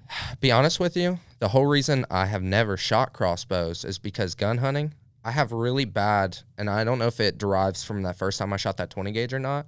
I have really bad trigger anxiety of like just the reaction, like I know it's about to You're- go off. Yeah. So Target kinda- panic? Target. Yeah, it's target panic. Yeah, basically. But with a compound bow, I'm not like that at all. And Yeah, I, it's I think it's the release. Oh, with a It just- gun and a crossbow, you are? yeah, Okay. I just assume it's the release. Um, all the tension on the release, you barely touch it, and it's boom Yeah. gone. But uh, So you think you flinched yes, beforehand? yeah, Yeah. I think so. And I was just, I mean, Falling apart. yes, absolutely. Yeah, I bet. Yeah, because I would've- mean, how much? How long have you watched this deer now at this point before you shot? I would say a good 30 minutes. I couldn't Oh imagine. my I couldn't God. imagine. yeah. Looking through binos at all? Like, Nope. He's that No. close. You did don't you need have one. binos? I did not have binos. Do you have a rangefinder? Do you wish you had binos to watch them for 30 minutes? Okay, I'm gonna get crapped on for this, but no. Corey has an extra rangefinder You didn't that I had in my fr- in my front pocket, but I didn't even pull it out because It's not built into the scope. nope, Hmm. nope. But uh, yeah, I just didn't even Wow. didn't even think to pull it out or anything like that. And the paths that I thought he was gonna take, I knew he was gonna be Yeah. close. It's worth mentioning. Uh, this is Ohio, and you didn't have a corn pile out. I did not. I had a crossbow, but no corn pile. Mm-hmm. 50-50. It crossed your mind? Um, typically when I'm hunting private land, it's gonna depend on the land, honestly, and the pressure around me. Yeah. That I'm gonna. I mean, obviously, if they're putting out ten Yeah. bags of corn, then It's funny. I- I like to ask people just, just like you know, why not? Because people are baiting with corn, so I like to just judge people's uh, their demeanor, like their mentality. Yes. around it. So hundred percent. I was at the taxidermist the other day. Corey, who just left, shot. Uh, he's only shot a handful of bucks. Uh, you know, this was his first buck on his own that I wasn't in the stand with him. So we took that into the taxidermist, and uh, we were just making friends with. There was guys. Guy was dropping a, a giant, like a. I mean, re- relatively right, big deer. Got to watch what you're saying now. For me, a big deer. You know, it was like uh, whatever. It was probably pushing 170. It was like at least mid 60s, heavy for you know. Uh, great deer. you know, 10 point, uh, big sticker off the two and stuff. His 11 year old kid had shot it. It was opening day of youth season. And um, I was just telling him, I was like, dude, that's amazing. That's awesome. I said, you, you guys hunt over to corn pile? And I just, you know, Yeah. And he's like, oh, you know, small, small corn pile. Small, small. I was like, I don't, I don't think size matters, but it's funny. It's funny how people's like their response. Well, I mean, even if you would have, uh, in order for it to be effective, you would have had to have it out prior to that hunt. Absolutely. Right. I mean, like, if anything, you put a corn pile, the first time a deer comes in, they're like, whoa. Yeah. Yeah, uh, funny 100%. enough, my uh, brother-in-law, my uh, sister's basically husband, Uh-huh. he has a camera out there now with a corn pile. I'm sure he does. oh, for sure. So he was living late in the now. house? Uh, no, um, they weren't there yet. They had not moved in yet. Her mom had been bouncing back and forth. I don't know if they had a futon or what. She would stay there sometimes just to keep eyes on the property, and then Mhm. sometimes she would stay with her friend. I think her name's Tracy. But um, yeah, seven yards. Um, I knew instantly because I seen the He Lumenoks. said, not good. Not good at all. Not good at What did he do? Um, the first 15, 20 yards, he had a pretty good trot to him, but nothing like He wasn't peeling out of yeah, there. no. But I noticed tail in between his legs Mm-hmm. and hunched over. And he actually kind of went up by where that doe went, mm-hmm. and he ended up circling back down around me to the left originally when he was going to come down that path. He ended up circling back down that way. Wow. And it's starting to get pretty dark at this point. I So, I mean, he's covered, uh, what, over 100 yards in that yes, loop. yes. And um, I'm sitting there trying to watch him, trying to watch him, and he ends up cutting over to the left where the CRP and stuff is With no binos. with no binos. Dude. You could see him. You could see him. Yeah, I'm sure. Oh, I guarantee it. but uh, he disappeared. Um, I would guesstimate around 550, 555. It was a very, very thick, like sycamore tree, just bushy stuff. And just kind of sucked Yep, in snuck, there. Snuck out of there. So I'm sitting there like, I'm not gonna find this deer. At this point, I'm absolutely tore up. She's You don't have a phone. I don't have a phone. She's supposed to pick me up at dark. So I'm like, It's dark 30 at this point. at this point, I'm ready to jump out of that climber to get down. yeah, with your with your harness over your neck. yes. And Jared and I've been there a few times. But uh, I'm sitting there thinking in my head, I'm like, what is the best thing to do right here? I said he wasn't in a hurry, Yeah. so I would say he doesn't go far. And most of the time, in my experience with gut shot deer, they're gonna want water eventually. Mm-hmm. So if he doesn't go by that pond now, chances are he'll probably go back by it. So I was like, I'm gonna sit here. I'm gonna wait. I'm gonna try to see her pull in because she was picking me up at nighttime. Um, sit there, probably like 40, 45 minutes after dark, and slowly, meticulously climb out of this tree, trying to make the least amount of noise that I Sure. can. Because you figure he's close. Yep. And uh, I didn't even take the climber out that night. Just I left just left it everything. at the base of the tree. Yeah. Um, where the arrow was, was it was in his direction he went, but it was so close to me. I did sneak over there and grab it, And What It it went looked all the way through. It was a pass through. yeah, absolutely blew right through. What it looked like. Interesting. Um, I didn't have a light, so at the time, really had no idea. Slimy? Brother, no light, no binos. no, no. Had a Um, rangefinder, didn't use it. yeah, Mm. basically everything you could do to shit the bed. Well, I, you know, honestly, the more I watch uh, social media, I think that you did everything to do to kill a giant because this is how people kill giants: is they just go out there and don't have this, don't have that, and then Yep. they're like, "Yeah, kill a giant." Yep. But um, You're onto something here, I think. end up getting to the car and she's like, What took you so long? And I'm just like, I shot a deer. And she's like, You did? I said, Yep. And she's like, Was it a big one? And instantly I start getting emotional. I start crying. I was like, That's the biggest deer I've ever seen in my life. So I turn the car light on and I'm looking at the arrow.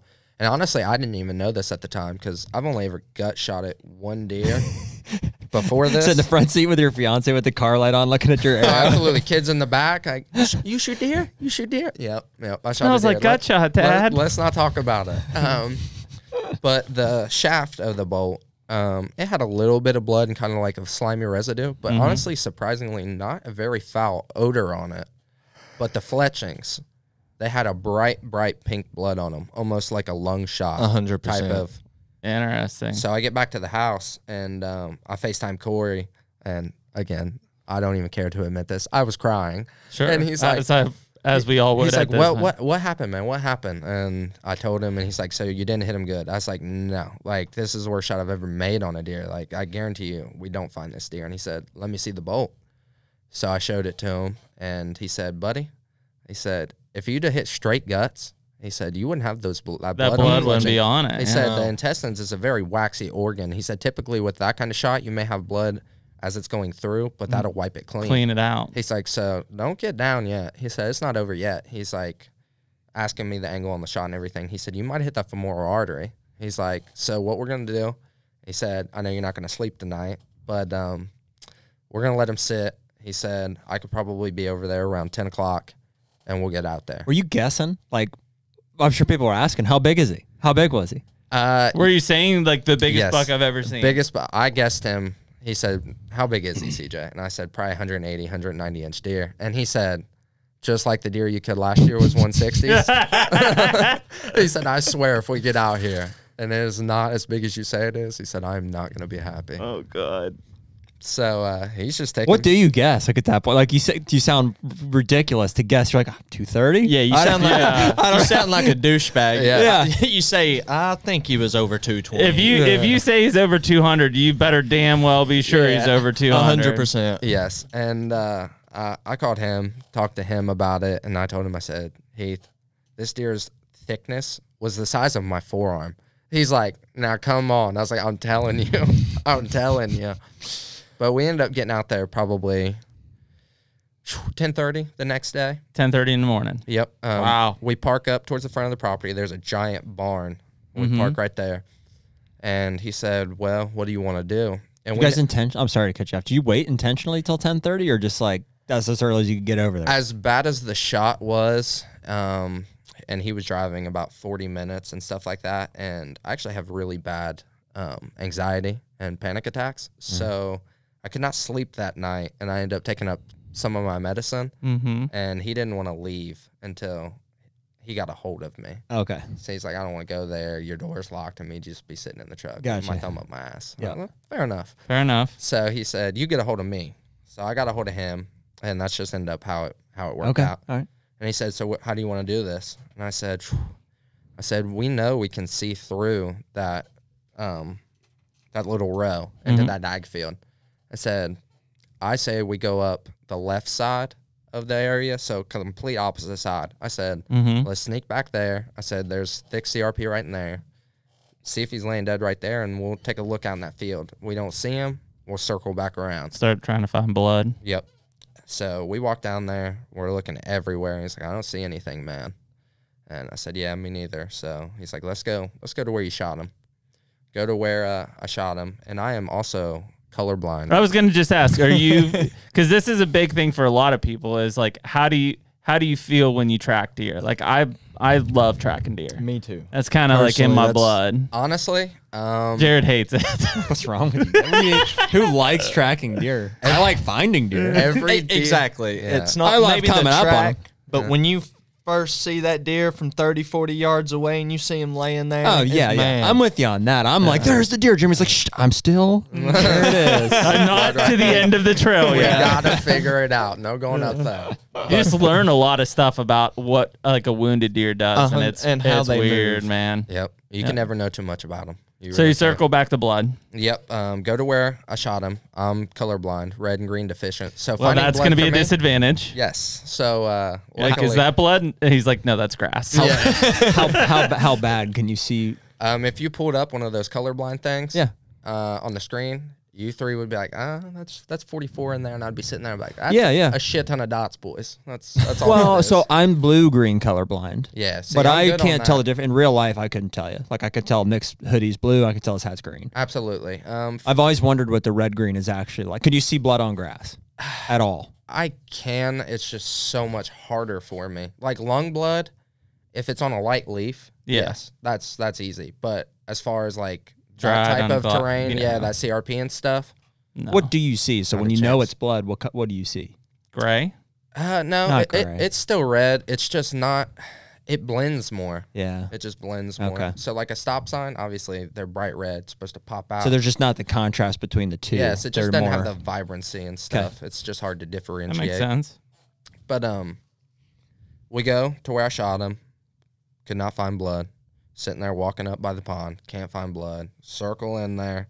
Can't find blood anywhere. Which is surprising, man. With a pass through, if you did hit that femoral artery, I'd think you'd be bleeding pretty quick, yes, that's what I would assume too. Um, if not right away. chances are, as jacked up as I was, we could have been walking five yards from where he actually was. Oh, dude. Oh, yeah. Yeah, I mean, that But- happens a lot. All of a sudden, you're walking over here and you cross over and you're like, oh, here's blood. And then the trail really was back this way. Yep. And uh, but where he walked out of that tree line when I lost him, I knew just because of that bushy tree right Yeah. there, I knew 100%. Like, here's your mark was. spot. Yep. So we got up to that, and not even five yards into walking that edge, Corey said, "CJ," and I said, "What?" And he said, "Look at this." And he picked up a blade of grass that was probably eight inches long, and it was literally covered. And then he goes, "You smell that?" And I was like, "Yeah." He said, "He's dead, buddy." He said, "I don't know where, I said, but he's dead." So we're still looking in this tree line, looking out in this field, like What was he smelling that told him that? uh, rutting buck for sure, and Oh, good yeah. shot. Yeah. Just enough blood. He got optimism there. Yep. So we're both just sitting there looking, and we're walking the edge of these ponds, and uh, in between these ponds, there's a giant mound. I wouldn't say giant, but probably seven foot tall mound with some saplings and stuff. So we are getting pretty close to that, and uh, I go to say something to him. I'm like, bro, like this is not looking good, and we're probably gonna have to go knock on some doors and ask. yeah, because you got 30 acres. Yeah, it's it's not a lot. And when I look over out of the corner of my eye, I see him laying dead right there by that mound. And I just smack him. I said, Corey.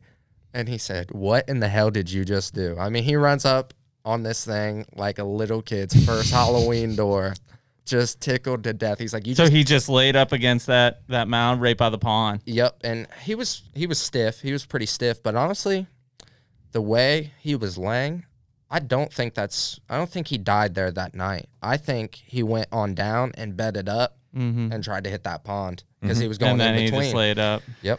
All right, can we can we bring him out now? Yeah, we can bring him out. You don't have your fiance bring him out? Yep. Go ahead, babe. Back there in that office. What the hell? by far. The Oh my deer I've ever god. What?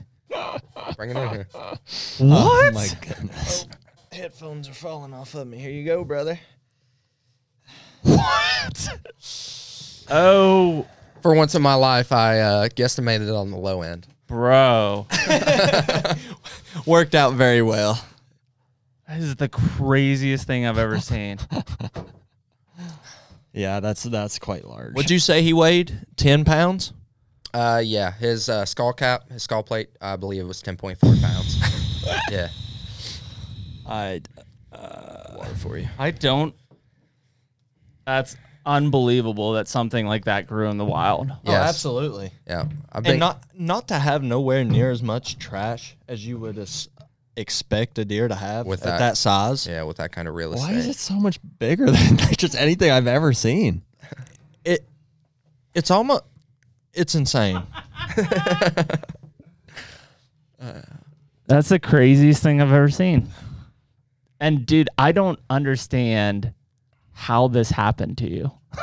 The only, Like, the from only the- thing I, I can just- tell you, I'm trying to imagine this thing. Walking through lo- the woods. Well, just even laying there dead. I can't imagine walking up on this. Yeah, dude. Yeah, it was. That's unreal. I mean, the, What a beast. I assume this deer had a giant body on him. Yes, um, I would say field dressed. He was probably 265. So over 300 on hoof. It's like I don't even know what I'm holding there. He's got a little bit of everything too, man. Yeah, I, mean, dude, man, the mass on that thing between is the forked eye guards and the way he paddles out up front, I, I don't know. I don't think it gets like that's much not better. even what I'm hunting. Like that's like a different animal. I, I don't think any of us hunt a unicorn on the daily you, usually. You ever heard of Bigfoot? I found him. what? I mean, dude, that is unreal. yep.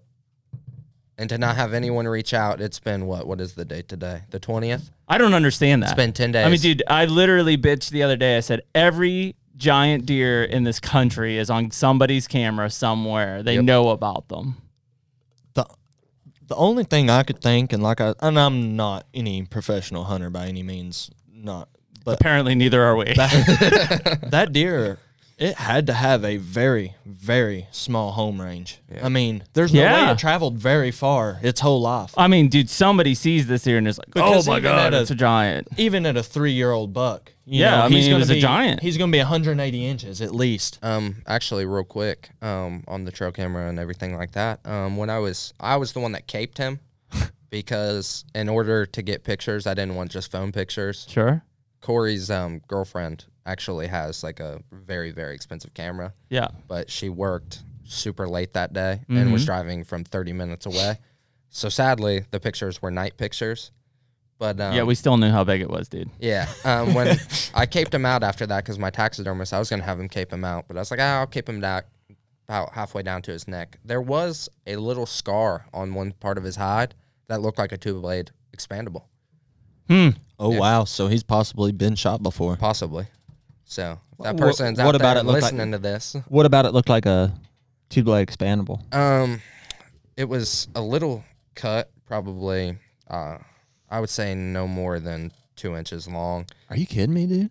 and it just looked like a big big scar tissue just right there and it wasn't on the other side of And the you think hide. you, maybe it was from fighting? Maybe That's what I mean. How would you di- distinguish between the two? just like it being you know how was it real thin? a rage yeah it would just remind me of what a Yeah. blade hole would leave dude, what a giant!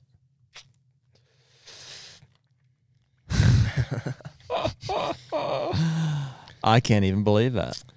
yeah um everyone's everyone's been uh, asking like I mean, I've held antlers like at Dude, farms I worked and in uh, stuff. I worked in Yeah. the pens. You held giant Yeah. antlers up at Penn State with me. yeah, that may maybe were this big, but just to fathom this thing out in the wood, I just can't. Ima- I can't imagine Yeah. that this thing was living out there in the wild. yep I mean, again, you know, you've seen Right? He was living out there in the wild, right? Well, actually boys There's what a really, 30 acre pen. Ah! really well, what, that's what I said. It was 30 acres exactly. really what happened The- is the- it's about a 20 foot fence tied to crossbow slowly Uh. climbed it I mean, pick the best dude, one. Wow, that this blading is, un- ridiculous here too. yeah I mean, I can't imagine turning around. Like, I, we, we were just in Kansas, turned around, saw a 180, and I was like, oh my God, falling apart. Losing like, your mind. I can't imagine turning around and seeing a deer of this magnitude, let alone watching them for 30 minutes and trying to keep some sort of composure together. yep oh, he definitely had no composure. I can go ahead and tell you that. zero Do you you have the teeth? Are you sending those in? Um, my taxidermist does. Is he gonna you're gonna send those I in? eventually I'm going to send those in. Yes. What would you What would you guess? How how old would a deer have to be to? to I mean, to throw a rack like that, he's got to be seven or eight. So I'm gonna say seven and a half. That's Yeah. what my taxidermist threw Yeah. out there, and that's what I mean, and Corey were because because at five, you know, he's gonna throw. The thing is, is you get into those weird situations. Most of the deer are gonna max somewhere around that five to six year old age class, but what you end up seeing is deer throwing it. And, and first of all, it's because there's not a lot of deer that get past six and or that we know are older than six from an whether we do, you know, the wear and replacement or we send the teeth off. But I think what we've seen, at least from a pen facility side, is that at seven, eight, and nine, even these deer can throw bigger racks. I think part of it is because they don't breed and rut as hard, so they control their resources more as they get into those those older. And I also don't think that they travel big home ranges and so anything that controls their resources is going to give them more to the antler. Absolutely. If Now- they're not getting injured during rut. Yeah. and- It's not like every seven and a half year old could look like this, though. I mean, this is like a combination of perfect genetics, uh, freak nutrition, And age. and age. Yep. I mean, I can't imagine that this would be a deer that people would pass on at two or three I or would- four I or would five. love I mean, I Probably could, not I ever. could Your hat on see, its head at three years old. I would love to know. I would love to know. I could you- see me too. people. I bet they he knew did. it- Ha- I bet he did have a massive blow up year. I mean, if I had to guess, he probably. I'm sure this is his biggest rack. Yeah, I mean, have I to bet he was a, a mega 10. I bet he was like a 180 inch class Yeah. 10 point. And then, yeah, whether it was last year or this year. At So- what year though? Like, I mean, because these do you put that kind of mass Yeah. on? those Yeah, I sheds mean, exist somewhere. Is that from four to five or That's five what to was telling I'm six? him. not I walking mean, back out there. Where do they, They even exist come Get out from? there. permission to go try to find some sheds off of them. I mean, they they exist. Yep. and they're not ate up. I mean, we've got those Kansas ones that were many years later that were heavy and just not. But Honestly, that find Kansas buck, other than a farm bucks, is the closest mass that I've held, and it's not not that even close. But I mean that those sheds exist somewhat squirrel chewed somewhere. Yep. You know they're Well, having Thanksgiving. I mean, feast they can time eat a horn. I know. They can eat a horn. It might be unrecognizable. Sure. Uh, well, somewhat recognizable. Boy, Yeah, I think we would definitely happy know it squirrel was out there. his. I mean, the other thing is too, uh, uh, you know, especially now that he's out of there, there's probably a pretty damn good four or five or six year old that's, his And offspring. that's what I told him. I said, in, yeah. I said, if there's a deer like that, there's a bigger deer back there. Maybe not bigger, but there's Yeah, there's a another big buck. mature buck in there. Yep. That's the craziest. Yeah, I mean, so in that area though, CJ, I mean, is it? You obviously didn't see a ton of deer. I mean, are there a ton of deer in that area? Um. Yes. Um. Actually, when we were driving out that night, in an empty, uh, harvested agricultural field, there was a bunch of deer, like probably twenty plus deer. Because that's what I was going to say. Is like the other thing is, you know, the the less amount of social pressure, you know, pressure and things like that that they have to compete against. I mean, there. This is like a tornado of Everything like going right. perfection. Yep. Um, because I mean, we we talked about it. uh, Just to get a deer to four or five is super hard. To get a deer to seven and or eight is and like have the genetics this deer yeah, had. it's damn near impossible. It- in a like- state like Ohio that's got corn piles and crossbows, not picking on those. It's just the odds of a deer making it through those areas, unless you're talking about, you know, oh, I hunt in Columbus, which I do. There are giant 200 inch deer in Columbus, Yep. but it's because there's 1,600 acres of metro park and 2,000 acres of state that you can't hunt. Yep. So these deer just don't Sanctuaries. get. Yeah, they don't get hunted Yep. and they've got good nutrition and then they put age on. This is a deer that, you know, on a small piece of property is surrounded by potentially hunted areas. I don't know what the freaking odds are of this thing, but it's Dude, with everything Nuts. that's happened in my life in the past four years, I can. The only explanation I could bring to this is divine intervention. I told you that on the phone. I was like that's when you told me the story, I was like, dude, I don't know. Yeah. I don't know anything else but this. Like the fact that you took a climber, pumped up a tree, and this deer walked within 7 yards of you. I don't un- I could never explain it. Yep. I mean, I'm lucky to see a doe. I'm just out here killing does, man. Honestly, the way the sit went, I was like, I'm, I'm. When I get home, I'm calling my dad. I'm pissed. I haven't seen nothing all day. Tell him why'd you waste my time, pops? You know.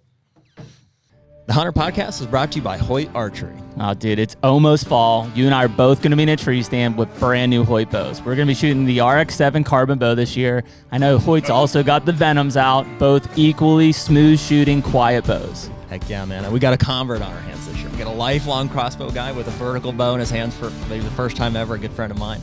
And uh, we've got him all decked out with uh, the inline accessories uh, from the QAD integrated Ultra Rest uh, to the quiver.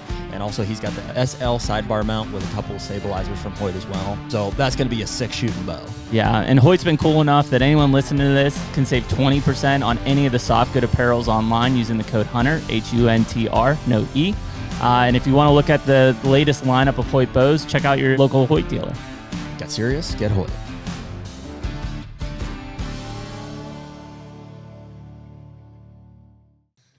It's hard to fathom. Oh, I bet you got a big uh, I told you so on that phone call, didn't you? Absolutely. What did your dad say? um, when I sent Because I did you call him that night? um, I did. Yes. Yep. And Um, and he, you said, "Hey, I shot like the biggest deer of my life." he said, "I told you, big ones, big ones are out there, boy." He said, "I told you." He's like, to your own yeah, man." that's all right. That one's all right. That one's a good one. I passed a couple of them. I probably passed him in 1985. he might have. he might have. I think he's 22 years old. Um, when he first seen a picture of it, he was cussing up a storm, and he said, "That's the biggest damn deer I've ever seen in my entire life." Agree. I mean, that is ridiculous. Yep. Um, cool fact. I mean, you can. that uh, it would be his left side. That's 112 and two eighths inch antler. That left side alone. So if that matched, obviously we have the controversy of that common base, which You know, the common base here. if we look at it, you Yeah. can kind of He- see. You can see that G3 going to that main beam, and if you turn him when you're looking at It's him, in very person, controversial, that's for sure. What? So what's controversial about It's it? It's the inside. It's it's where the connection. Like, does this point actually originate from the beam, Yep. or does it originate from a common base? On Yep. The two. And in Yep. and so what you have to look at is they they look at the grain of the antler, right? Yep. So clearly this one does seem to come down and touch the beam, right? Yep. And if and you look at the backside back one on of the this, one, backside clearly does too. Yep. Um, it's just is that it's almost like palmation. Like Yeah. he's just so he's so massive. thick. Yeah. Absolutely. And if you feel, um, right? And, in- and in a palmation deer, this would be a two and a three. yes. And if you feel, um, Mike Rex was actually telling me about this. I had no The idea. The dimple. The dimple. Yep. You can feel a dimple That's in there. it. Yep. Yep. I think So is, is is Mike saying that he thinks it's a true two and three? Well, um, weirdly enough, when Mike came to the house and he was measuring it, obviously that man's been around the block. He said that's the biggest main beams he's ever measured on a deer in his entire life. And Mike killed a giant with like twenty nine or thirty inch beams Absolutely. in Gross Southern Ohio. 246 inches. Um, I believe it netted 216. So he knows big deer. Yeah. Man seen big deer. Um, he he said in his opinion, see, this is where things get weird. So Ohio Big Buck, they recognize, um, B and C. um, yes, and BNC recognizes them, and they go off the same standard. But with Ohio, And Ohio Big Buck is different from Big Buck Masters, right? Well, there's Yes. a Buckmaster BTR yes, which is what he's he's been already officially scored for that, and he's because there's no drying period. yes, he's actually um, now the official world record for semi-regular crossbow.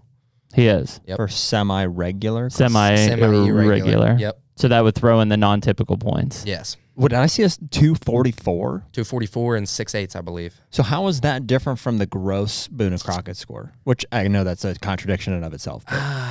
so where are those? Because Because Mike, you because Mike there's a got gross two. non-typical and a gross typical. Okay. Okay. So your gross typical has everything without deductions, but it does not include your non-typical points.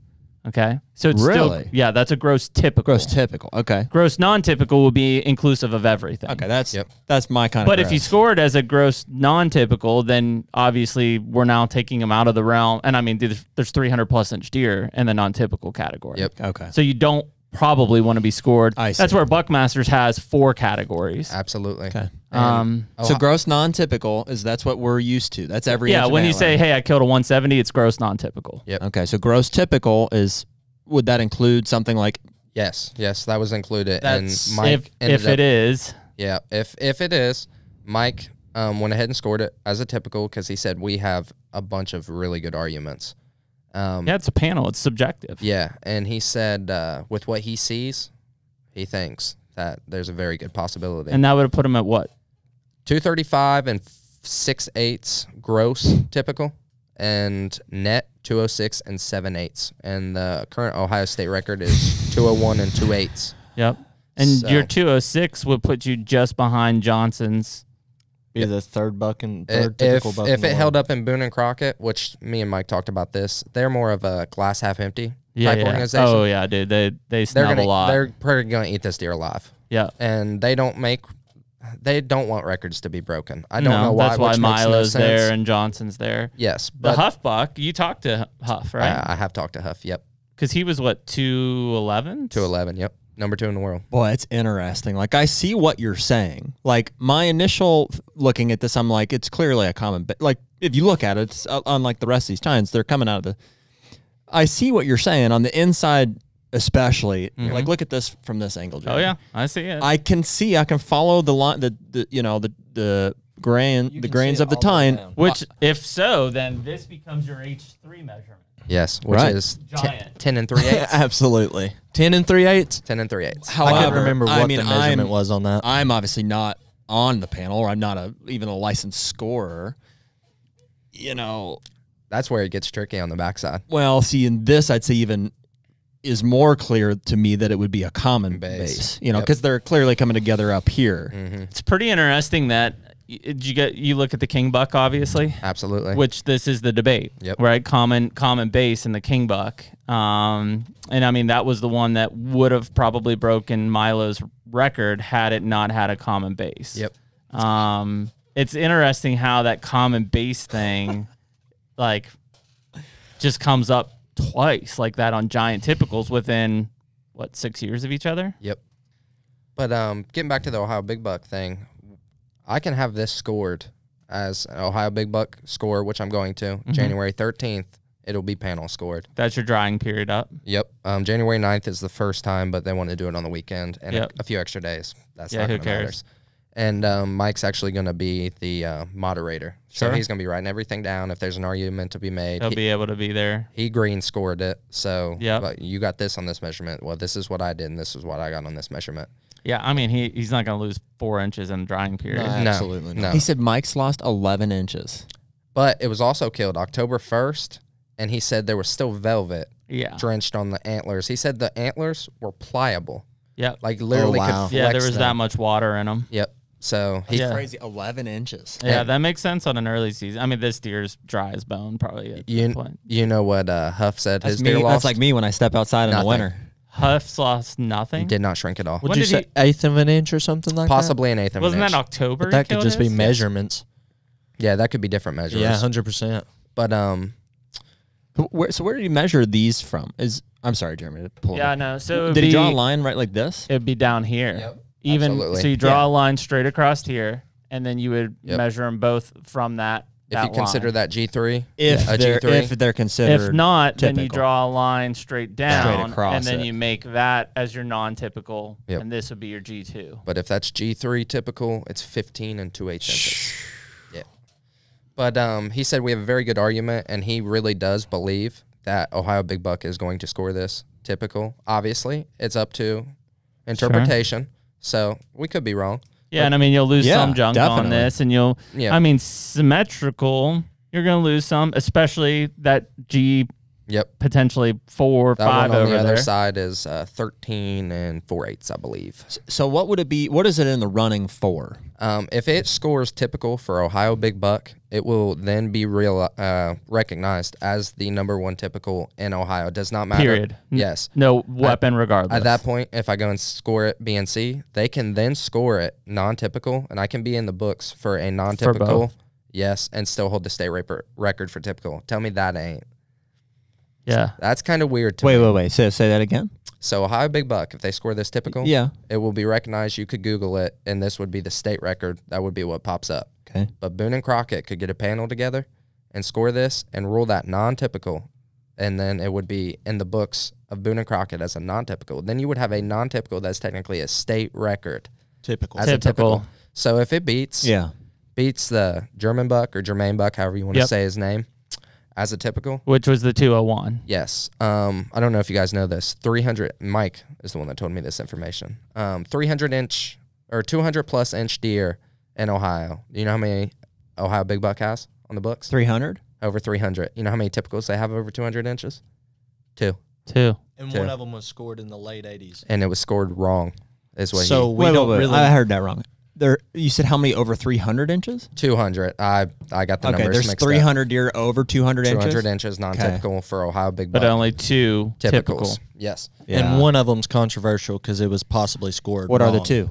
Um, the Contras buck, which Yeah. is actually technically stop, um, tied, Can you pull that one up, Nick? The For- Contras. and it's actually got a very. C O N T I think so. You're asking someone who's horrible at A spelling. C C R C R O N C O N T R A S. But Try it's that. actually tied for the state record.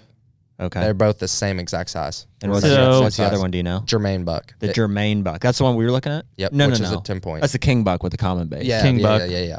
And uh, the Contras buck has a common base, and he said that he's seen that deer in person, and it is more controversial than that. You know what's crazy is is if this deer didn't have, let's say this is the G, you know, five technically. Yep. If this deer didn't have that G five, you gain six more inches on a typical Mhm. scale. Yes. And you'd be all over Milo Hanson. Yep. So basically, what my plan is is if this beats the state record.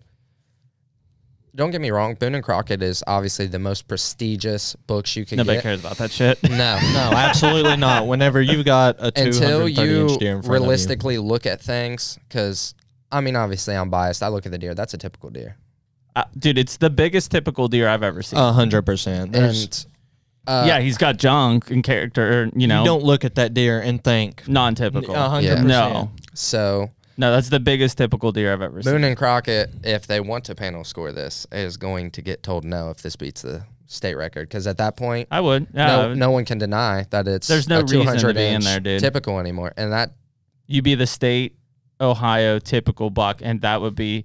Although you know, and this, I actually thought it was. We've talked about it numerous times. I I believe Ohio will be the place that the world record typical is killed. yep, I And when I saw this deer, I said, "Holy shit, there it is!" yep. Like immediately thought that was it. See, Oh, 100 what- percent. Whenever he sent me pictures, I was absolutely do a little gawking. what ifs here. So we say that left antler, it's 112 and 2 eighths inches. Yep. Say he matches on this side, and you got that on both sides. That then makes him a 250 inch typical deer. If you rule that typical, and nothing touches, like Yeah. Nothing comes. if you look up the Milo Hanson deer, um, inside he's 27 and 2 eighths. Yep. My deer, 27 and 2 eighths. I You ju- believe I believe his main beams were 29. Mine are 32 and 2 eighths. And then you're looking at mass measurements. He didn't gross nearly as good as your deer, right? no. I Because bel- I was gonna say he didn't have the mass. I could be wrong on this, but I believe this is the highest typical gross. gross. Yes. Yeah, I think I think Milo's deer was like 221 or something maybe Yep. as a gross typical. Yep. Like we get a bunch of we'll say So- five year olds in a room, and you put them in a room with a handsome buck, and you say which one's bigger. They all say yeah, the 5-year-old with Yeah. the math. So if if we're looking at gross typical, we're sit we're sitting at 235. Yep. Two two thirty five and six eighths, I believe. It might be four mind blowing though. Yep. Mind blowing. Almost six inches all the way out to his tips. I mean that last. Well, that's what I was gonna say. dude. Three four inches. You've got it falls off. beams. You've got spread. You've got ridiculous mass. You've got ridiculous. I don't know. There's literally there's nothing you could add to this deer besides symmetry. Yep. That's it. Yep. I don't know if you'll ever see a. What was it? Two thirty-five and seven. That's seven. what Mike got. Yep. On There's a, on a gross non-typical. typical. No gross typical. Gross typical. So that's without any- without the junk. That's those. That, yeah. without these, but with that. Correct. Because Yes. he scored that as typical. yes. Oh my word! So that's where your big buck is. That's two forty four Yep. with the junk. That's Yep. your non-typical score. Yep. There- there's no. I mean, I I don't. wonder what this was. I don't know. Uh, We've wondered the same thing. Yep. It looks like a Trident. Yeah, it may have been up here. or Something. Brick like that. killed a guy. Saw that. He's probably going to hiding for a while. Looks like he's got a little cedar or pine or something, and that little Yeah, crevice I up there saw on the it top. over here too. Just Yep. rub the inside off. Dude, I awesome. he still has these these downturns. I don't yes. understand. Like, I don't think that there. I don't know if there ever will be a gross typical at almost two thirty six. That deer's unbelievable. I'll tell you what. I Just even the Oh character he has. couldn't I mean, imagine he- this, but ten year old boy's dream come true, man. Blessing from God. Oh, you mean being on the podcast or killing the deer? Both. Both. Both. I. Freaking anybody's dream, dude. That is a giant buck. Oh, yes. Well, I can honestly say, and obviously, CJ, we've only talked to you for how many, you know, minutes and hours, but like, uh, happy for you, dude. I Like, appreciate it. there are um, happier if it was me, but yeah, definitely. I think we all would have been. If it but makes, we're, you, if I'm it makes you feel any better, I don't honestly feel like I deserve this because I'm just an everyday dude. I've made a lot of fucking mistakes in my life, and I don't know. It's just I can't even comprehend it. It's still surreal. I still wake up and like, am I in a coma? That's When's nuts, man. end? I mean, it's uh, you know, honestly, there are people out there that throw millions and millions of dollars at things to try to make this happen, Yeah. Um. fu- which is what's I- ironic about it. Absolutely. funny topic. I've been offered twenty thousand for it three times already. Really, Yep. doesn't surprise me. And, And then they'll make you uh, a replica. yep.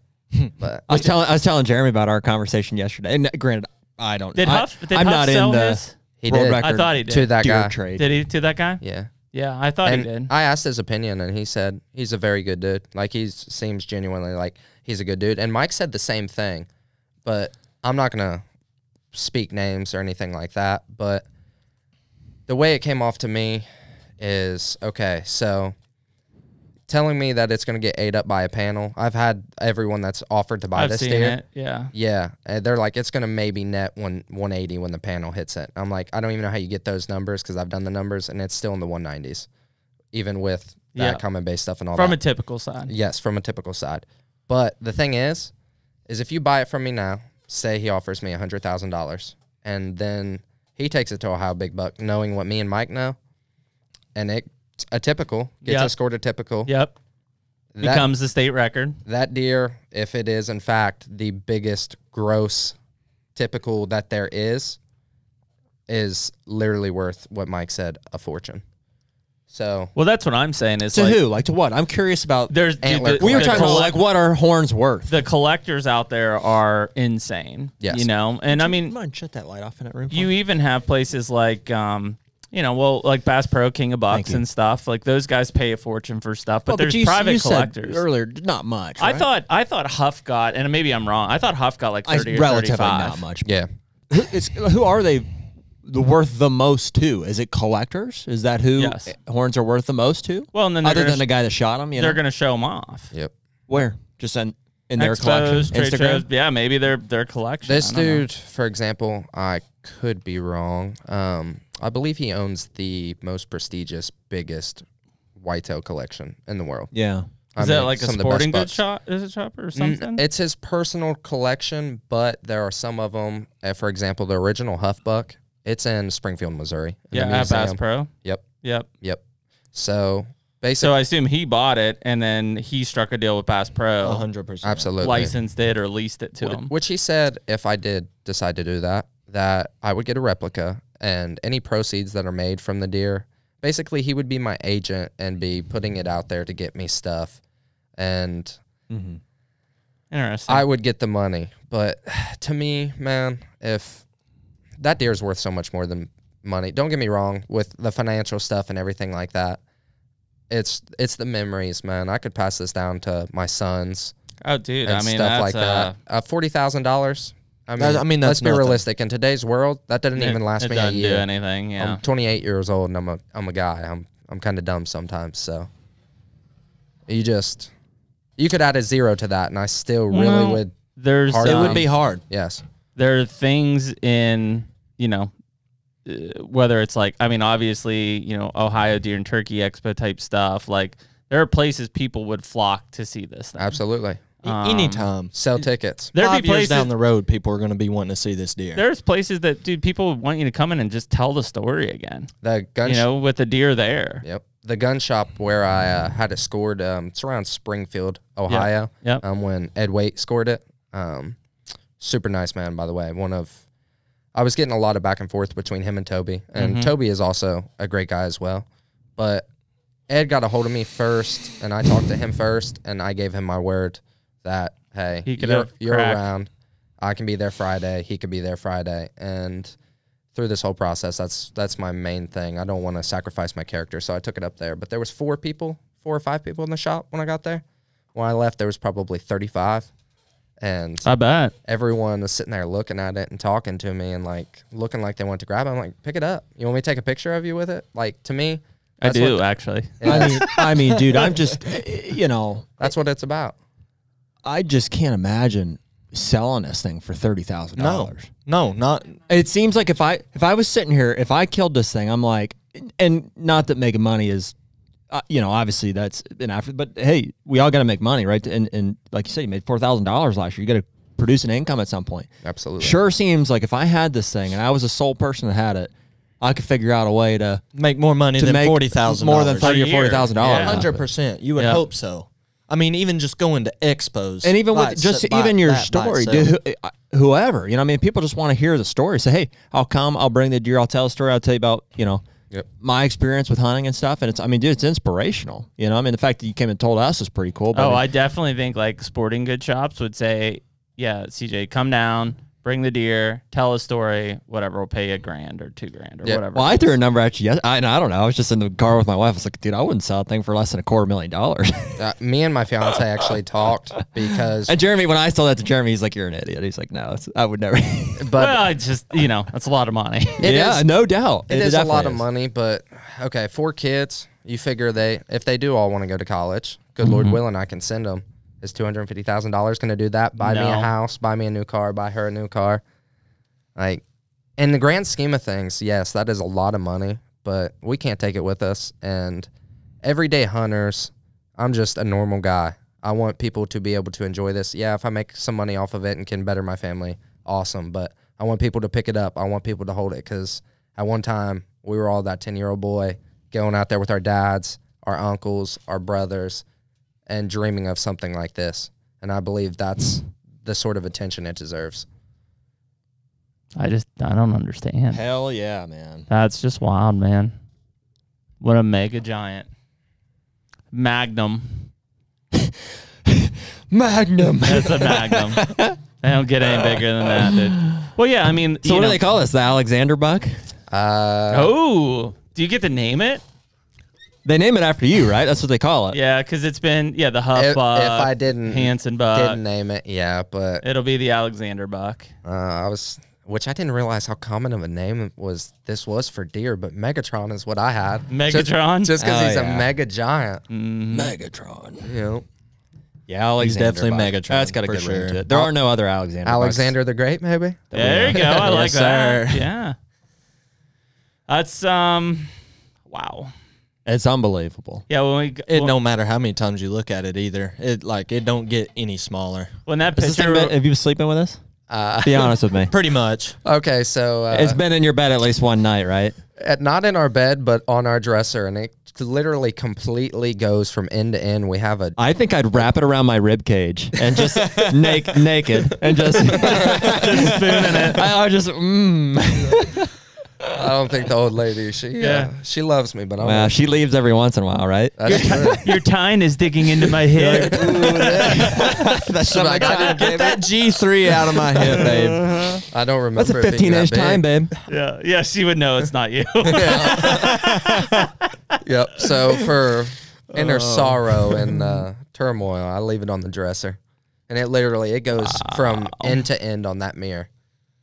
I mean, dude, it's as big as our table. Yeah, it's I can't imagine that deer walking through the woods like that. yeah. My taxidermist actually, I'm sure you guys know who the Beatty deer that was Oh yeah, in Ohio. yeah, Charles Yeah. Benny. Yeah. Do you know where he kept that deer? Uh-uh. Isn't it? In a bank vault. That's vault. not the Prince of. No, that's different, Oh, okay. baby. All right. He kept it in a bank vault.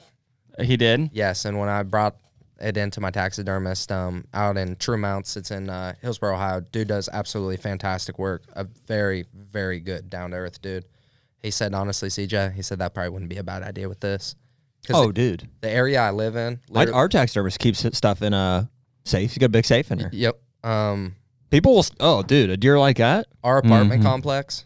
Um, it was about a year ago, maybe a little bit longer than that. The parking lot over from our building, a 13 year old got shot from another 13 year old over a weed pen. Sounds about right. Yeah. Nick, get your damn vape out over there. Nick. That's pretty, pretty direct. I can't shit on you, Nick, because I Me. vape too. me, me either. Yeah, no, dude, I would I would lock that thing up Yeah. for sh- for sure. I went ahead and put about six inch long wood screws through my deadbolts and stuff like that. So Yeah. you're coming through my door if anything, and if you do that, there's I'll just don't It's tell already surprise on over other with. side, yeah. It's already over with wanna by tape that 'em? time. Huh? You want to tape them? Yeah. We're obviously not qualified, but it'd be fun. Okay. The HUNTR podcast is brought to you by Muddy and Stealth Cam Trail Cameras. Cell cams, cell cams, cell cams. What an evolution the industry has seen, and we've experienced personally over the past five, ten, you know, whenever cameras were invented, right? It's like, man, it's totally changed the way that we inventory deer, pattern deer, and, and ultimately the decisions that we make when we're going out to hunt. They're a serious piece of the puzzle, and, and uh, you know, that information is invaluable for us. We trust the Muddy and Stealth cams, you know, together to be able to, to collect any of that information. Yeah, I mean, as an admitted trail cam addict, you know, I've definitely been guilty of, of underhunting places or relying too heavily on that information that's come in. That said, it's an invaluable tool to the overall management plan and strategy that I have for my own properties or even hunting public land. It doesn't matter. We have a finite amount of time in going out and hunting. So when you and I are after a particular class or quality of deer, usually mature buck, we can't waste time hunting an area where that deer doesn't exist. And those cell cams provide that information that allow us to spend the time in the area with the highest chance to accomplish our goals. Say it all the time, man. You can't kill them if they're not there. That's it. So right now, any of our listeners can use uh, code HUNTR20 to get 20% off either Muddy or Stealth cameras. Uh, we're certainly going to be taking advantage of that, and we hope you guys do too. Yep, check out Stealth Cam and Muddy. Wrap up the pod with a score. All right, That's the plan. yeah. And so we'll start with the disclaimer. I'm not a licensed scorer by any means. You're not either, correct? Your wife is.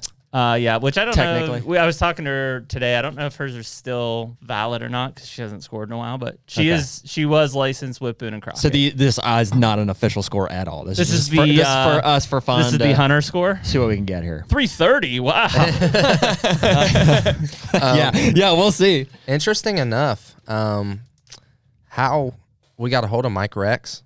We uh, have a guy who used to be his brother used to be the mayor of Cincinnati, and he married my mom and dad. Um, I end up getting an attorney just just in case. You never know. Was For this deer? well more so for like people trying to buy it if I do decide to go that route. sure. Review the contracts and stuff stuff. like that. Um, he reached out to someone, which ended up being Mike, I believe. And Mike called my mom, and she's like, he's like, so you think he's got a record deer? And she's like, it's pretty damn big. And he said, "Well, Pretty damn big. do you have a picture of it? And uh, she said, yeah, and sent it to him. And he said, wow, okay, um, yeah, I need to get a hold of it. yeah, him. that's a big deer. Um, she he asked who scored it, and she said my son. And he said, what did he get? And I was actually I got 207 and six eighths, so I was seven eighths inches off. That's pretty good. That's awesome. Not too bad. Well, okay, let's see what we can get here. Jared's gonna squeak another eighth inch out for you. Yeah, I'll see what I can find for you.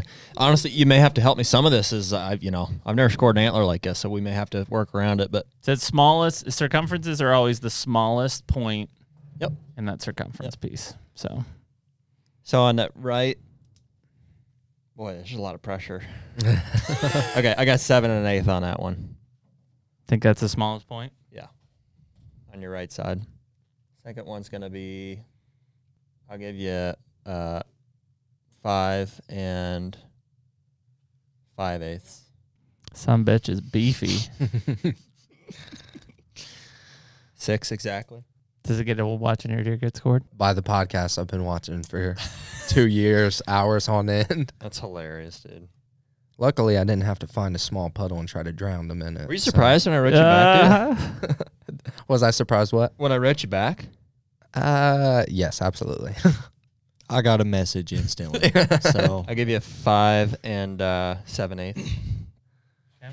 One, two, three. That's my fourth. but yeah, dude, we literally were driving to go get beer, and uh, yeah. he's like, "Dude, right you won't believe who just wrote me." So I'm going to lowest point on the pedicle there. Is that where, Mike? Uh, yes, I believe right in that corner. Yep. And we go right on the top of it, correct? Correct. That's where the biggest discrepancy typically comes from. It's like an uh, it can be an inch to inch and a half in a lot of cases. Yeah. Um, BTR actually had it about an inch shorter than what Mike got it. Yep, that makes sense. And it goes on the outside of that beam, which is beefy. Mike actually uh, measured the main beams like uh, three times over each I one bet. because he was like, I There's got- no way. I got to do this again." Yeah. That's crazy. She just keeps going. 29 and 6 eighths exactly. About the same. Exactly what I got the first time. Okay. At least, at least I'm consistent. All right, I'm going to keep going here. Mm-hmm. We'll do our G1. Yeah, which one are you gonna do? Which one? I mean, we got to do them all, right? Yeah, but I mean, I'm just saying, which one are you gonna? If if that's gonna be your. We're doing gross. Oh, we're gonna do gross non-typical Mm-hmm. Yeah. or gross typical. Yeah, I guess that's gonna be your brow. Yeah, this is this one and this one Yep. for sure. Yep. Okay. Because this does have common base or common down to the Yep. medium as well.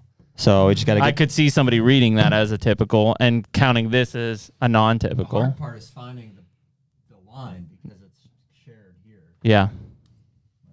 Let's just see what I can Yeah, the first time I measured it, I measured that wrong. I measured it where the split was to the top. Right here. Yeah. Yeah, and I got four inches. I was like, man, that's kind of wild. If 200 inch deer having four inch brow tines. Yeah. No, they're they're giants.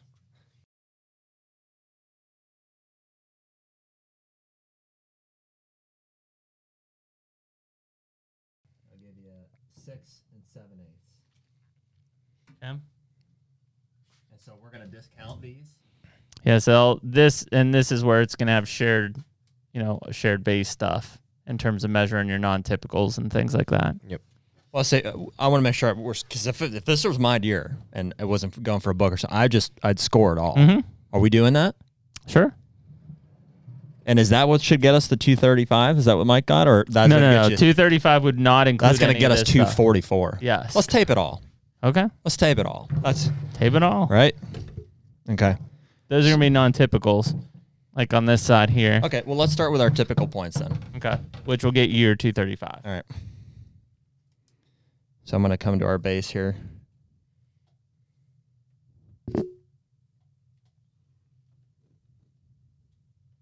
Uh, this is the first year ever scored on the podcast. Just out of 158 podcasts, this is the first year that's been worthy of scoring on the well, table. we absolutely appreciate that. Yeah. We just I'm haven't shot anything worthy of being scored. I'm sure he appreciates more than me, but I'm just glad to be here. Yeah. This I'll is, give you eight and five eighths. Yep. Which, for the record, is not a giant G2. No. For the record. For the record. Okay, is this on the record, Nick? For the record, you're a little bitch. All right, twelve and uh, six eighths. yeah, that's a big three. For the record, that's a big three. That one's all right. That one's good. Uh, you know what the other thing this deer has that we always bitch about? Never, it never is worth anything. Tine mass. Yep. Some bitch is thick. Yep. like that's every time you kill a big deer, you're like that doesn't matter. Yeah. That G4 right there that he's That making. is insane, sick, man. man. That's some kielbasa hanging off the horn. hmm Damn branch. That's what I was thinking. You know, how'd he even maneuver through the woods? I would assume he made some big ass rubs. Carefully. Yeah. Carefully. Is how you I bet that deer just didn't. He didn't move when he didn't need to move. Mm-hmm.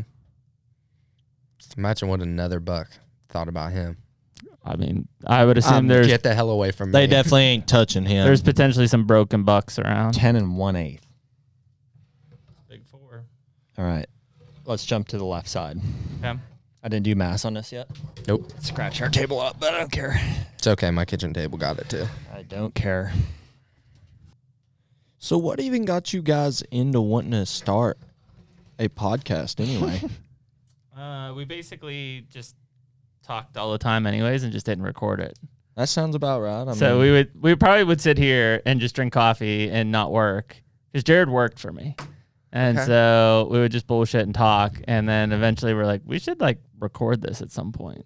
Funny thing is, is he's actually talked about starting a podcast before, and that's one of the main reasons I should do it. invited him. I'll help you guys. I've- I was I've like- been- Yeah, we'll get you set up. Yep. I mean, I've been watching Joe Six, for six years, and three eighths. Six and three.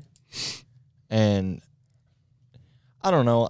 I just I really like getting the insight on people, like trying to understand how their brain works, Mhm. trying to you know pick, just pick their brain.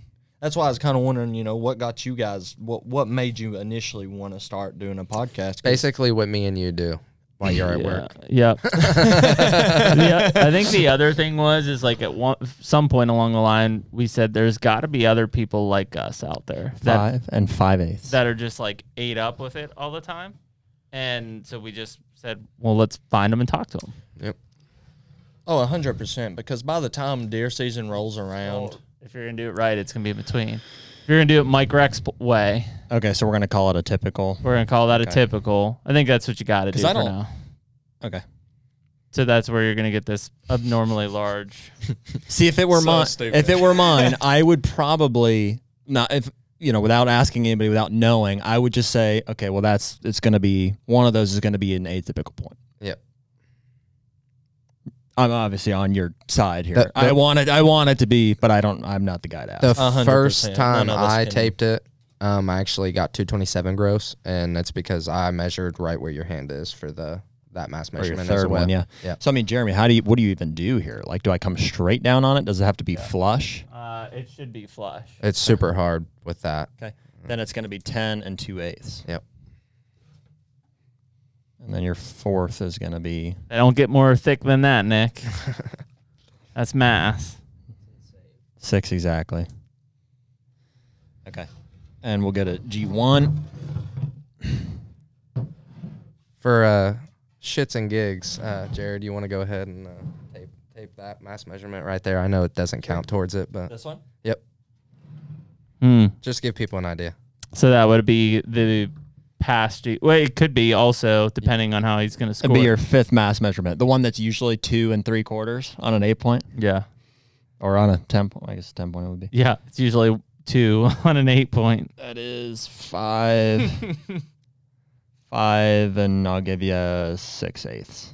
So I mean, it's a yeah, Some deer's bases. Uh, I'll give you a five and five eighths. yeah, Five and five eighths. yeah. I just killed what I thought was the most massive deer I've ever killed before, and it was five and a half inch bases. Okay. Let's see if I can get this brow tie going here. Can you hold that right there, Siege? Yep. hmm. He's hard to maneuver. Oh, 100%. I mean, well, there's just so much horn everywhere. He's awkward. I just Like, can't believe that Getting deer. him in and out of the car is even a challenge. I don't understand, dude, Barely. how you 100%. how you tripped on this thing. Like I just it's, it's mind-boggling to think of like how deer hunting is today, Yeah. Five and six eighths. which is awesome. Well, I mean, I'll be honest. When he told me about it, I thought he was full of shit. I mean, mm. in all honesty, I knew He has a bit of a was a- track record. Yeah. Uh, I knew it was a big deer. No, I knew by the way he was talking, it was definitely a good sized deer. Didn't you already score that one? Did you score? Oh no, you didn't. No. Okay. Your left two. Yep. But boy, when he sent me the picture, I was like, okay, Fair okay. enough. I remember seeing the picture and like literally the first words were like, "Holy shit!" It's funny because I don't have a Facebook. I deactivated mine like four months ago, Good probably. for you. Um, Better for it. yes. Um, my and three eighths. I posted it to my Snapchat story and my Instagram. Literally, once I got the pictures, instantly posted it. And uh, the next day, he asked me. He said, "You care if I share it on a Tennessee deer hunter um, page?" He said, "I say all the time." He said, "I just kind of want to show it off," and I was like, "No, I don't care." And everybody was absolutely. I can't believe what it did. I mean, yeah, the Tennessee boys were probably like, "Damn." Yeah. oh man, the high fence. Oh, I was gonna say, there they come. Yeah, high ridiculous, man. fence. Okay, so I don't know if you guys have like ever just been sitting there on social media. You'll get in on a very controversial thing Oh yeah. and see people arguing. That's literally the story of our life. That is what the purpose of this podcast is. CJ. I have been that person before, sitting there arguing. Back that off to two eighths.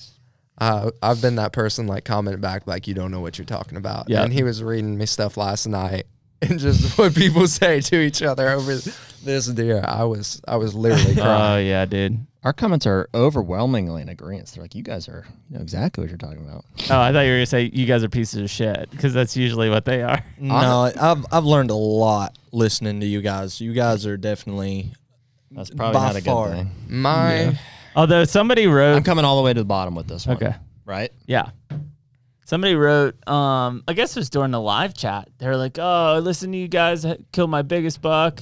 It's like a 220 or something." I'm like, "What the hell are we doing wrong?" you mean you learned from us? Hunting in the wrong place. Yeah, probably. um I'd say my top four are probably as far as podcasts, you guys are definitely number one. For a hunting podcast, absolutely. Well, I Oh, mean, I'd for expect you to say that. So, um no, I tell you, I would bullshit you. yeah. who else do you listen to? Don Higgins. Okay. I just found you an And, uh, inch, bud. I appreciate that. what? little slide of this. St- I wish the little slide of fiance tape. could. Um, So Higgins, okay. yep, Higgins and uh, I can't think of his name that does it with him. Terry. Terry, yes. Yep. Um, Josh Bowmar, I follow him very closely. Mhm. Uh, have a podcast? he does not, but I watch his uh, Oh, yeah, yeah, actual stuff and his like broadheads. Yeah. Uh, when Josh I is a good seen him on you guys, like when you guys had him on, and he was talking about those broadheads. Do you know how long I was checking the internet for those? And then they drop, and I'm like, no way, I'm ever getting a pack of these broadheads. no. way. I think they sold out pretty quickly. They keep doing it, which they look. I, I'd be interested. Yeah, interested they look to try 'em. sick. Yeah, because typically I shoot. Um, last year I shot that eight with uh, one of those NAPs. They almost look like a Rage, but Yeah. obviously without the Kill barrel. zone? kill zones. Yeah. Yeah. and I'm not a huge fan of that just because of how much force it takes to, To deploy open it up. Um, this year I was gonna shoot G5 Mega Meats, Mm-hmm. but because Corey has an Excalibur, he has Excalibur, 15 and an eighth. Excalibur bolts, Excalibur broadheads. He said that's just the way I've always done it, and so Yeah, what I mean- with. I've heard really good things about those six blade Excaliburs. I have. The the mega meat. I know I- Rising shoots those. We shot we shot um the Rage Trypans yes. for a long time. When I first started getting into hunting, those Yep. original rages, with A the hundred O-rings percent. All I, over. I think that's where everybody went. hmm And then that's you know so we were looking It's a great broadhead. we were Got a lot looking for deer with those. something like that, maybe more durable and stuff, and so that's where the Sevrs came in. I've looked into those better too. I like how you can buy those singular. Yeah, individuals. Singular. That's Give you 11 exactly. that should be something that other broadhead companies look yeah, into. doing. no, they've been solid. I mean, we we weren't sure. Jerry killed that one in North Dakota with it, um, I've and crushed then yeah, several bucks with them this year. Yeah, and then I killed the one in Illinois with it. Then he killed his in Illinois with it. So I mean, yeah, they've they've they've been awesome. Um, ben Rising as well. You mentioned him. Yeah. I watch Whitetail Edge quite a bit. So you know, Ben, Don, us, just big buck killers. Six exactly. Yep. Six. Yeah, I had that. Absolutely. When it gets Wait, what? Six exactly. Yeah. Yep. You need a main beam on that side. You haven't done. Yep. Okay. when it gets to be about July, it goes from ball to deer hunting, and that's about all that stays on our TV in our bedroom. Lucky you. Deer hunting. She falls asleep to me watching people kill big deer. So romantic. Yes. She falls asleep to me watching. Every once in a while, we'll get a movie in. Every once in a while. Every once in a while. Yeah. Hey, but sometimes I do the dishes and I cook dinner a lot. I just uh that's hard to believe, dude. That is just such a monster deer. I don't understand uh I think that's what God was thinking. He's like, you know what? This guy can make a pretty mean steak, and he does dishes for his old lady every once. In a while. We're gonna while, send so. him a freaking behemoth. giant. How do you cook a steak? Um, little S and P down the hatch. um, weirdly enough, a lot of people use grills and stuff like that, and I do like grilling steaks, but I prefer fillets. And what I do is I preheat the oven to 225, and I will spray the pan, and I will put it in the oven for 40 minutes at 225, Mm-hmm. and then take it out, let it rest for about 20 minutes, Mm-hmm. and depending on now that I'm not into the gym like I was before I had all these kids and stuff, I would used to use zero calorie spray, but now I use butter and I'll take some seasoning. So like, um, I think it's Kinder's. Yeah. is the name of it. Yeah. Um, buttery steakhouse. Yep. I'll sear that butter, get it nice and hot, Mm-hmm. boiling. Put some of that seasoning in it, some garlic powder. Mhm. Mix it up. Um, after they rest, I'll throw them on there for depending on how you like them. I like mine medium rare, but she likes hers more done. I'll throw mine on for like a minute and a half on each side, Mm-hmm. and then hers about three, and then I'll let them rest again. Thirty and three eighths is what I got on that beat. Where the hell are you losing two inches at? Where's Mike gaining it? Is what I want to know. Yeah.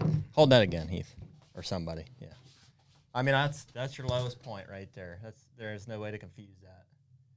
Boom, right on the top of it, right in a groove. Did Mock start at the eye socket whenever he got it? Uh, he said something about the corner of the eye socket, but Yeah, that's not a thing. yeah, it, I, he he was saying in reference though, not starting from the eye socket. Um, I'm sure when you guys talk to him, Here, I'm I'm gonna bring it out here as much as I can. Right there, that is the bottom, and it's got to come right through there. What do you got? Thirty. I'll give you thirty, and that one is six eighths. Okay, so you gave him three eighths. I believe that's pretty close to what I got when I scored uh, scored it the first time. So that'd be our Mike was getting other me than extra width. inches. Spread. Yeah. So I'm just saying from that, without spread, Jared's got you at 201 and 7 eighths, Yep. which is low. Okay.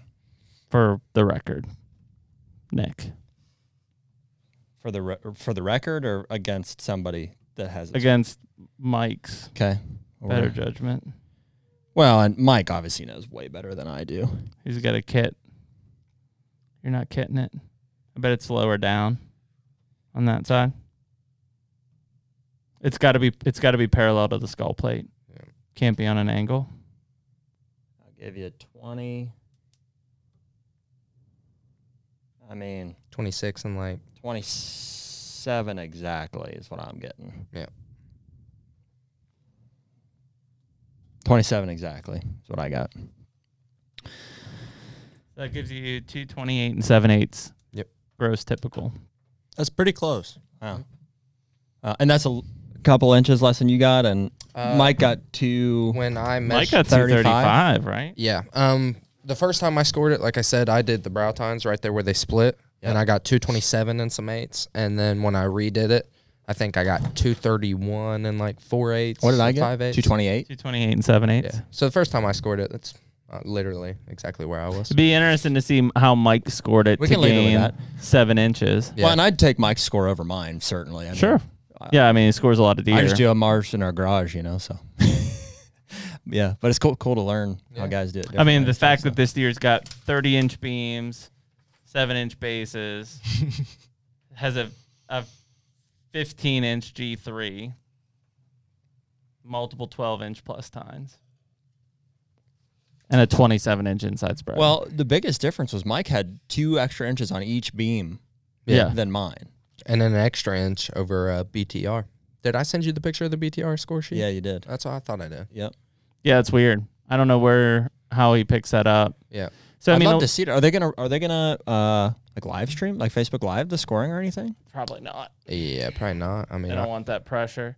Because the big thing is with a lot of these coming from that low point is it comes back up to the backside of these beams and then it follows that grain yeah. the whole way up. And I mean, you know, on a 20 inch beam, it doesn't make, you know, it's an eighth to a half inch. But on a 30 inch beam, it might be an inch, or inch and a half, Yeah. depending on Maybe how you come up at. around Yeah. on these backsides. Hmm. Um, still Magnum. Oh, definitely. I do think Yeah. that I do think that we're looking at probably the largest gross typical buck ever taken. Yeah. I truly believe so too. Uh, Th- this is, I mean, this is what brings the uncertainty. I'm not worried with- about the with any weapon? stuff. With any weapon, Yeah. Yeah. this is what brings the uncertainty. Right. Of course, the one I shoot with a, a crossbow has to be this one. Uh, that's what you'll always be known for. hey, but at least it was seven yards. I could have rode him back to the house. Yeah. Huff killed his with a crossbow, right? mm-hmm. It's a Magnum, dude. Just unreal. Blessing from God for sure. No doubt. Not sure how else to describe it, man. To be honest, like it just. uh Well, like you were saying earlier, even the the way the stars aligned that day, it don't get any better than that. Well, it, it- you know, we talk about this a lot on here is that the fact that, you know, how how targeting of deer has become like everything in deer hunting. Yep. I mean, you know, 20 years ago, you didn't know what buck you were going out to kill. Like maybe you saw them when you're out hunting and maybe you came across with them, but you know, today, like when you go out and hunt, very rarely do people not have a, oh, this is my target buck, or it just even in their head, this is the buck I want to kill. Yep. Um, you know, are there surprises? Sure. Mm-hmm. You know, in Kansas on public land now, we can't use cameras. So when I turned around and saw a 180, I'm like, holy shit, I don't know who that is. It's a giant. Yep. So you're Clearly not not. allowed to use cameras on public land. Not in Kansas anymore. Yep. Wow. This is year one of that, Mhm. I think. I think so too. Yeah. So wh- what's the reasoning behind that? Privacy. Really? People taking dumps in the woods, Mhm. screwing in the woods. They don't want their Wow. pictures taken. And I bet they, they Understandably. Touche. Yeah, but I mean, they won't be the last. It, it'll keep coming for sure. find a house. because uh, it's not against like enough. if you look at the anti-hunters and the hunters fighting against it, throw them out of the mix. It's the mass public is the the non-hunter, A right? They're not against hunting, but they're not for hunting, but they are for privacy. Yep. And so that's who's going to swing the votes every time. Absolutely. So yeah, I mean, I see it happening more and more. but it, what I'm saying there is like the targeting aspect of things has gotten to me a, a bit out of control. I mean, obviously, and for great Well, reason, you see it. This buck is cool. ago, you just said if I got a trail camera picture of that, I would quit my job. I quit my job. Yeah. yeah, absolutely. I probably would too. Yeah, I quit, my- yeah, quit my job and I'd hunt every day. But it, it's if you look at something like this, the fact is, is there are a lot of giant bucks, probably not this big, that people know about right now. They're hunting right now. They they they know they exist. That they're out there. Yep. The fact that you walked out there blindly and that this deer existed in that, I don't know what the odds of that, but it's it's very very small. It's like hitting the Powerball. Yeah, I was gonna say, let me walk out to you guys' parking lot, find think a it might be thirty dollar less than ticket that. that's got twenty grand laying. I'm winning on it. That's like mean- twenty mil. Yeah. Yeah, I'm for laying on sure. it, dude. I mean, it could be less than that for that to be the biggest gross non-typical de- or gross typical deer. You're saying? Mm-hmm. Yeah. I mean, what are the chances? I think it is. I think it is. It, don't when think the there's- drying period would be over, if Boone and Crockett would agree, Yep. it would be the largest typical buck ever, and I would bet it'd be a long time before we see that record break. Um. I, I don't think we would see it in our lifetimes. And if we did, it would be I mean, Hanson's, just like this deer. You Hanson's know, I mean, has sat since what ninety three Yep. as the world record net. I believe Huff, uh, when he killed his deer, they said on one of the interviews, they said the chances of him killing that deer was one in 500 million, I believe. wow. I'm quoting that correctly. Powerball would have been cool, Yeah. but yeah, I mean, because what I don't know, Nick, what did uh, Huff's buck gross? Can you see? I bet he was in the two twenties. It says that the Huff buck grossed two thirteen and an eighth and netted two oh eight and a half. So very little deduction. Hmm. That, and that's insane on its own as a typical. I mean, that's as symmetrical as you get, and it was a mainframe twelve too. yep. Wow. So yeah, I mean, obviously the Huff buck is Dustin's buck is giant, but it only grossed two thirteen. We're looking at a gross two thirty typical. That's th- like hard to fathom. Yep. My brain like doesn't know what to do with it. Okay, so here you As I'm looking at, just like So so Milo yeah, dude, it's insane. Milo's buck, which he probably doesn't listen. Milo follows our podcast, which is kind of funny. does he? Yeah, Hey, hey, Nick, can you grab uh, Wide Boy out of there? yeah. I just want to compare the math. So Milo's buck, which is the world record typical, killed in '93, netted 213 and five eighths. It grossed 223 and seven eighths.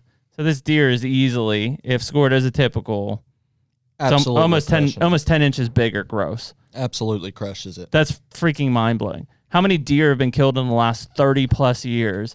And this thing's this is like one of those things that's just like it, it doesn't even break the record. It just No. smashes it. uh, Jeremy's one he stuck in the shoulder a couple years ago. it's got ate up a little It's bit the other real massive one in there. Not that one by on the chair, but That uh, shed that I brought in to show you guys, that uh, deer. I measured that shed, and I believe it's 86 and 5 eighths. Oh my goodness. Yeah, I was trying to give them boys the backstory to it, and I completely butchered it. So you may have to tell them. um, which this is also a Magnum. But look at that. absolutely. yeah, hundred percent. Like I mean, I it's just- got great times, but like Makes you want to quit. It- like what? Why would I? Yeah, never gonna kill anything like oh that. Oh, my god, this is a 180 didn't I, stuck so in the shoulder. It's like a baby. It's a infant. What? And that's an absolute stud of a deer right that there. It is. You know, you know what I mean. I mean that that anybody 180 inch deer. anybody in the world would be. And what? Why? Grateful Why? to kill Just that. why? That's a ten inch. That's a ten year old deer, Yeah. and that's the biggest rack he ever threw. What? What causes a deer to throw an antler like it, that? Jeanette, I mean, I look at Ronnie Coleman for example. yeah. I mean, that is a Ronnie Coleman of a buck if I've ever seen bodybuilding- one. of bodybuilding. You know, Just- just right genetics. He picked the right thing to do. You mm-hmm. know, it was Might just have to name him, yeah, buddy. yeah, buddy. Yeah, lightweight. I would assume that this deer probably didn't didn't breed as hard. He had s- something happen that he retained resources from the year before. Yep. There's no other reason to the throw. previous five years. But but the thing is, is one like year. we don't you don't know, right? With no history and nobody seeing this thing, we don't know that three years old this deer could have had a 200 inch frame. And that's really where the mysteries lie. Wait, I mean, we've talked about it for Where's this deer on been for five this point. years? We've talked about it for hours on end at this point. You know, sitting in the pond with one of those cattails, just Dude, I can't believe that nobody has come out of the woodwork yet. yeah. I honestly should go by. There's and no ask the way. there, yeah, hundred percent. have There's not got to be yet. some person, Somebody's seen it. I whether just hope they don't shoot me. whether it's an old man that's using ancient trail cameras or No trail whatever, cameras at or all. no trail cameras at all, and he's seen it with his own eyes and just knows it's back there. I mean, Has your uh, brother in law got anything on camera yet? Uh, I don't believe so. Um, couple does. uh, he brought Few it. spots. you guys tell me like, dude, I killed it. It's gone. I, Is that- the, the Fusion X is that a yeah, it's stealth cam. stealth cam? Yeah, he got one of those, and he was asking me about the SD card. He said, "Why ain't it picking up this SD card?" I said, "You need a special SD card." He's like, "Well, hell." So I'm not even. no, you don't. No, it's not picking up the SD card. Yeah, like I think he's got a regular. You know how cell cameras need that one. No, no, they'll take any cell cam. Yeah, Really? they perform better with a cer- you know. A Yeah, higher, I mean, if higher it's end. if it's a super old one, something wrong with it the probably SD won't card, work. I would think. Well, it has to be a minimum of 16 gigs. So if it's not a minimum, Does then it? it won't work. No, Y- no. Yeah, yeah, yeah. I think there's oh, I a don't think minimum so, on dude. them. I've used like eights. I've got some Really? eight- Yeah, I think on so. the new ones. Yeah, Huh? I'm not sure. I think. I'm pretty sure. now I'm gonna have to figure that mystery out. I'd, I'd check out SD. I'd be interested to Use a see. new SD I card. bet there's not this, SD cards go bad. yeah. uh, but I bet there's a big buck in there Why do that you think? moved in. Oh, maybe, maybe, Offspring. maybe. Yeah, who knows? It's I mean, obviously, it- it's obviously a good area. I mean, clearly I mean, the clearly there's the biggest buck that's been killed in the county because we're talking about it something being a figured state out. record. Something figured out how to get old there. So I mean, it it it likely will happen again at some point. And, well, and that's what I told him. I was like, obviously, the genetics are there, the food's there.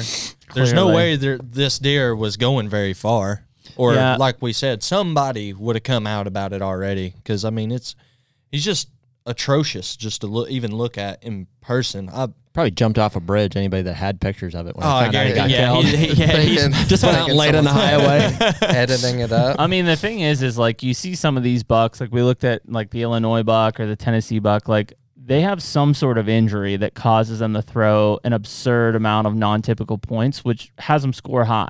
I don't think that that's a genetic throw. I think that's an injury, a hundred percent. pedicles, whatever. Yep. This deer has a like one in a trillion genetic frame potential on him. Like I would assume, even in years past, he has thrown a large, massive set of antlers. Now, Maybe you- not to this. Do you boys think next year he would have went downhill? I think at any Hard to moment he could say. have went Yeah, That's downhill. what I started to say. Well, I mean, what do you think? You think he's going to shrink Honestly, thirty I inches? I think it in a depends on year? the res like from year to year. Like if you have tough winter, like shortage of food, Get whatever in- that is. injuries, and stuff like injuries that. for sure. How hard he rut. At some point, though, I mean, if he's let's say he is seven and a half at eight and a half, I mean, an eight and a half year old deer in the wild is struggle bussing. the way he moved, I've never seen a deer so meticulous and so slow. Even at, I mean, November 9th. in He's just Ohio. picking everything apart. Yes. Like, dude, you. But it- this is usually like the biggest shed on our table. That's what I'm saying, dude. It's not even the same animal. Yeah, and It may it literally makes that antler look like an infant. Yeah, I'm like, is this a two year old? Boy, sure puts that in perspective, doesn't it? it can happen. Next year will be interesting. Yeah, no shit. I dude. know, man. I almost feel bad for you in that regard. Like, where do you go from here? My dad shot 162 inch eight point last. I mean, big, nice eight point. And he's like Lee Lakosky all of a sudden. He's like he's passing all these four year olds left and right. Like he's like I'm, I'm 160 or better. You know, I'm like you could be waiting for a while. Yeah, I don't think you're going 230 or better typical. You're in trouble. Yeah, no, absolutely not. Yeah, I don't He'll know. be dude. shooting a 140 next year, boys. Don't let him gaslight you. Well, you should. You know, you can't let this, you know, Well, no, a- because you wouldn't ever kill dent- anything That's again. it, man. You wouldn't enjoy it. If you put the pressure on, like, oh, I got to do, I, I'm going to live up to this hype, like, that would not be healthy. For That's ya. a seriously like you should talk to some guys about that. Like that's you know almost like the celebrity like that gets to like you're almost on an island. Like nobody can relate. I could never even No. talk to you about killing a deer like that because it's like I don't even know. Oh. I don't even know what I would do if I killed a deer like that. I don't. I mean, I want to believe I would just uh, keep deer hunting, be on to the next one. But like, how do you?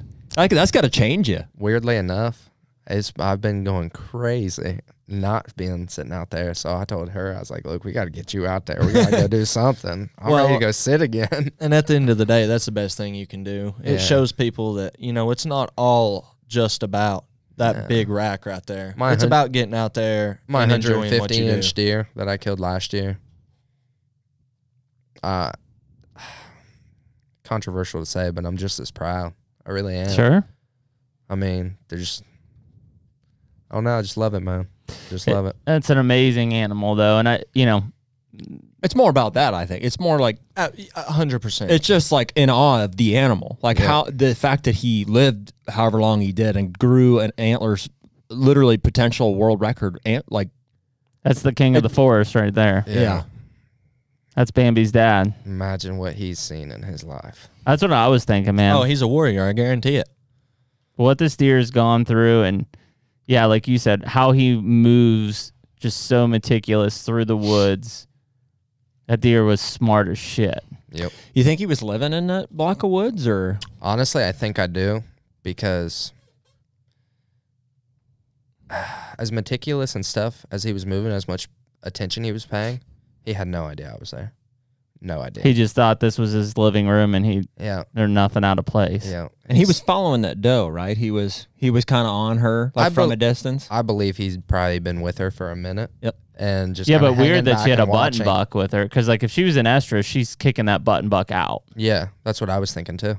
Like if she was if she was receptive, Yep. ready. He's just waiting. He I I think that dude was biding his time. He knew eventually, and who else she gonna go with? yeah, look at me. Look at me. Like wait. Yeah. um, before we let you go, because I know you mentioned it, I'm just in, you know, just curious. You said, uh, oh, an Ohio DNR officer, Yes. and you went back out. H- How did that all? What what all happened there? Um, I change cell phone numbers a lot, like Mhm. pants. Mhm. I'm horrible with phones. Burners. we get it. yes. Um, and my mom's number was actually on my because I had like the digital thing on my app. Yep. Yep. Um, he called her and said, "Hey, we heard you killed a big deer," and she's like, "No, I didn't. My son did, but I can get you in contact with him." So uh, he calls, and she comes up to tell me, and I'm in. I'm so hard to wake up in the morning, but she's sitting there trying to wake me up. She said, "CJ, ODNR called you." I'm just sitting there. "Huh? Shit. What? Run, scatter. and I end up falling asleep for another 40 minutes. And uh, our five year old son was in there. Um, I believe he's playing Xbox or something, but I ended up waking up. I said, Zayden, go get your mom. And he's like, okay. And walks down there and she comes up. She's like, yeah. I said, did you say an ODNR officer called? And she's like, yeah. I said, "Oh, give me the phone. I'll call him. And he showed up at the house probably 20 minutes after we got off the phone, sat there and talked to him for about 40 minutes just asked me the story and stuff like that. And he said, "What are your plans today?" And I said, "Well, Mike Rex is coming to uh, green score it." And he said, "Do you know what time?" And I said, "Probably about three o'clock." And he said, "Do you have time to run out there?" I said, yeah, let's go. So uh, we loaded up. He followed me. We get to the property, and as I'm pulling up, I see my sister's mom walking out on the porch to smoke a cigarette. and I was just like, "Oh, this is gonna go lovely." This is gonna go fun. Yeah, but uh, I park in front of the barn, and uh, he parks kind of down on the driveway, and he walks up to her, kind of just say hi, and said, "Hey, he shot a deer. I'm just here to check stuff out." And I got out of the car, and she's like, "I don't even know who the hell that is." Jesus. And uh, I said what I said, and he kind of looked at her and was like, and walked back over to me, and he said, "What's her problem?" I was like, "Gosh, she's not a big fan of me." was there any like discrepancy with it? Like, did he dispute your permission at any point, or Um, I showed him the permission slip at the house that my sister had signed October first, and I told him I said, "Do you need to make a copy?" and did they take own a it picture? like equally? How does that work? um, before this house thing started, it was her mom's. It was primarily Jeannie's. Um, but in order for her to get the loan for that place to be put there, she had to be on, on the, land. deed. Yeah. Yes. Okay, So so she's at least got authority yes, to give permission. permission. Yep. And um, he uh, pulled up his onX. Actually, obviously, the ODNR officers they have paid onX. It was like it just says Jeannie Alexander. And then I told him the whole thing about the house, and he said, "Okay." He said, "Well, I'll probably talk to her when we leave." And he said, "Might have to talk to your sister." And I said, Yeah, yeah. "That's fine." Um, because they were getting ready to move in, they actually bush hogged all that most of that stuff down. Like the last, I'd say where the ponds start back Mhm. is still that tall stuff, but the other Where stuff, you killed him. yes, but where the other stuff, I mean, it's gone, and it was like you would not want to go through. Was it thick when he when you killed him? Yes. So it was literally days after Yep. they. Wow. Yep. Could have Uh, changed his whole pattern, dude. Yeah, yeah, probably Could have may could not ever pushed him, seen him again. Pushed him out of the area. from where he sat so long, um, his carcass was still on the property because the horrible shot. It was pretty warm that day, Yep. pretty warm that night, and I got probably a third of what I should have got off of him, Mhm. which is unfortunate. But Was the cape salvageable? yes, yes, The um, hair's still good, not yep, slipping or anything. not slipping or nothing. Nope. Um, I kept his cape and stuff on ice that night after I had caped him out. So um, the only bad thing I did is the ice melted a little bit because I had it locked in my house. a little water on a And the cake. heat- yeah, my taxidermist was like, never do that again, please. Um, You just put, you didn't have it in a garbage bag or anything. uh, no. Uh, yeah, Just that's, a, that's a no no. Yeah. Don't get them warm or wet. Yeah. Um, but we walked out there. I said, "There's the carcass right there. If you want to go look at it, you can see the entrance. You can see the exit. If you don't want to touch it, I'll touch it." And he said, "No, I'm not. I'm not even worried about that." We walked down the edge, and he said, "Where were you?" I said, "That tree right there." I said, "If you want to, you can literally see where the climber went up the tree, the marks on the tree." He said, "About where did you shoot him?" And I said, "You see that log right there?" I said, "Right there." So he's like, "Let's walk walk this trail." We did not find any blood, which it had been six days, I think. Yeah, so it was probably Yeah. gone. Um, gut pile. I gutted him right there by the pond. The gut pile was gone. Imagine gut that thing. Uh, but uh, coyotes had done ate it up. Oh, sure. But actually, where he was dead, where he actually we found him dead. Um, I thought it was just like a dark mark in the grass, but I said, I'm pretty sure, and I stuck my finger in it. It's Blood. blood right there. And he said, okay. Like, obviously, I see everything I need to see when we walked out. Um, I mean, what was he looking for? honestly, probably just checking to see, like, It's not like Next hunting spot. well, yeah. I mean, it's Maybe. it's just weird because like uh, let's say I kill a 150, he, he's not coming out to check my spot that thorough. I think what it was is because of the attention that these kind of deer can get mm-hmm. and Yeah. people saying things because I've actually heard people who have heard people around town in Wilmington saying that is a high fence deer. Like here in Clinton Sure. County, they let out like three or four of them a Didn't few years somebody want to say that you spotlighted this deer? Oh wow. yeah, someone said I spotlighted it, and I was like, "Well, I must have climbed up a telephone pole because if you look at the entrance and exit, that would Yeah. make no sense at all." Yeah. Um, but he was looking for a blood trail and just trying to Trying to get the put all the consistency with the story. Yeah, but um, Hmm. he wanted to talk to my buddy Corey. He talked to him. Uh, he Corey called him that night, but I think he didn't call him back until the next morning. But he's just trying to put the because he knew this thing's gonna get a shitload pretty of much to protect me. Like Yeah. if anything says anything, hey, we He's went, like, we I was out there, I saw fresh." it all. and it actually rained the next day, so it worked out honestly probably in my benefit. And Mike said that he did reach out to someone because of who my dad was, where I grew up and stuff. He said, just go ahead, get it out there. There's no reason to hide it. There was nothing that was done wrong. Because people are gonna dig. A hundred Absolutely. percent. They're just gonna look for reasons. Yep. So Isn't that a shame? Well, Yeah. they do. Dude, even when I killed that deer, I mean, instantly people are like, "Oh, he obviously shot it like in No, because it was in stuff." velvet. Yeah. Yeah. yeah, People just jump to conclusions. Uh, it's some of the most embracing people you can be around, but when people get jealous, I think it's a little different when it's this caliber of a deer. yeah. And to me, there's no reason to be. Je- I I got lucky. Well, I mean, in the end, I got lucky. people are going to try to take advantage of the situation with you on it. Is Yeah. what what happens is like because you're quote the average hunter, Yeah, right? They're gonna be like, all right, this guy doesn't know anything about the industry, doesn't know about this. I'm gonna throw him five thousand here. I'm gonna throw a thousand here. I'm gonna do this, and that that's, you know, they're gonna look to take advantage of the situation. absolutely. Um, and it's because that they know that this thing is going to hold a lot of value and notoriety for possibly the rest of our lives if there's never a bigger typical ever killed. it seems like everyone's trying to rush me on a decision of getting rid of it and stuff before Why? the score and stuff because basically the conversation I had with someone, um, that if this deer is not scored as a typical or not scored at all, the value is less. But if it scores Ohio big buck 200 plus typical, how many? I mean, that's the only the third in Ohio that would be 200 on I the mean, books, dude, and would be the state record. So that enormously kicks the value up. And then with his gross score, you can certainly make the argument that it was possibly the biggest, biggest typical. ever to walk the earth. So I mean, I think that um, regardless of who says what about score, from a hunter perspective, it's the biggest typical that's Yeah. ever been killed in the wild. Yep. Possibly to ever walk in the wild. And like I appreciate their like offers and like wanting to represent me and make me money and stuff, but for me, man, that's not what it's about, and that's why I reached out to you. I feel like you guys are genuine people. That's the vibe I get. So, this is what I want this deer to represent us, like the everyday person. Like keep going, keep dreaming. You never know what might happen, man. It's nuts, dude. I mean, it it is. um To me, don't get me wrong, the inches are cool and stuff, but for example, what Jared shared um, with me, what he did with his dad while you guys were in Illinois, that's just as special. mhm. shouldn't be discredited at all, and to that that should mean more to you probably than that deer means to me.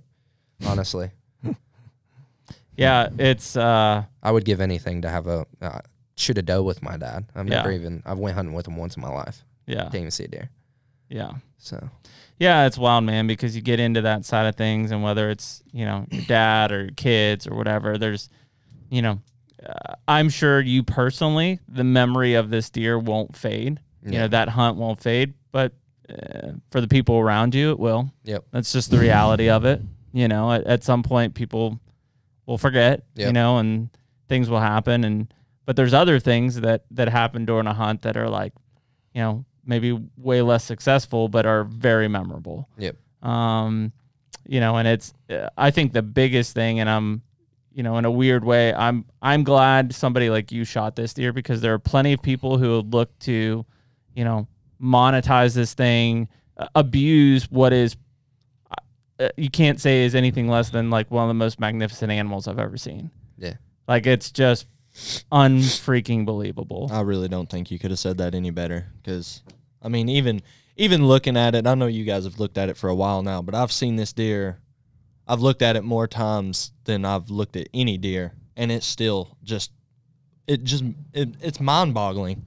It's really mi- mind boggling. It almost looks pre Yes. prehistoric, dude. Like it looks like somebody fa- found this thing like fossilized and like, holy shit, this is what white What deer used to look like. yeah. it's just it's unbelievable that that thing walked. And I can just like you like you describing how it comes. I could just watch like visualize this deer like meticulously picking apart the landscape on every move, and it's just like watching every That's- single step. that's every why he is what he noise. is, man. Yep. Yeah, what the- a unbelievable animal. I can't. I can't imagine that thing walking through the woods. I just I guarantee you when he just shed doesn't it, seem real to me. shedded his horns every year, I bet you he felt such a nice Oh, I can't believe. Uh, yeah. He said, "Man, Oh yeah, and I mean, there's a there again. I can't. You know, I know shed hunting's not that popular, but nobody found those. yep." Like, there's probably There's there a good be- chance. There's a hundred inch side out there Yeah. somewhere, And you, know. would assume, even like me, I've found in the past two years, I would say I've walked over 40 miles. I found maybe five sheds, and a lot of them old, chewed up sheds. sure. Um, a side like that laying on the ground, say it stick out pretty good. Yeah, you're not gonna miss Dude, that. since you're getting into shed hunting, grab him two. Sorry, Nick. Grab grab him two old chewed up ones. The old Kansas City. These are really cool. These are, I mean, as chewed up as they come, I guess. But these were, the, uh, they're on public. these were 50 yard, 100 yards at most off of a the parking spot at a high traffic Really? area in Kansas. See, I think that's the next yeah, next just those two. next adventure. Uh, Yeah, I mean, I guess Oh, I shouldn't yeah. bring them out after this thing, but like, grab a hold of them. It's a that's a match set. I mean, that is. Yeah. I mean, that is Just even the mass. Here, let me Yes. see them both. I'll show you what this deer. What look at I mean, that's what that sucker was. I mean, that's and that's an absolute stud. probably a 188 point is probably what that sucker was. point, at least. why? Yeah, he was on public land. Those are probably two years old.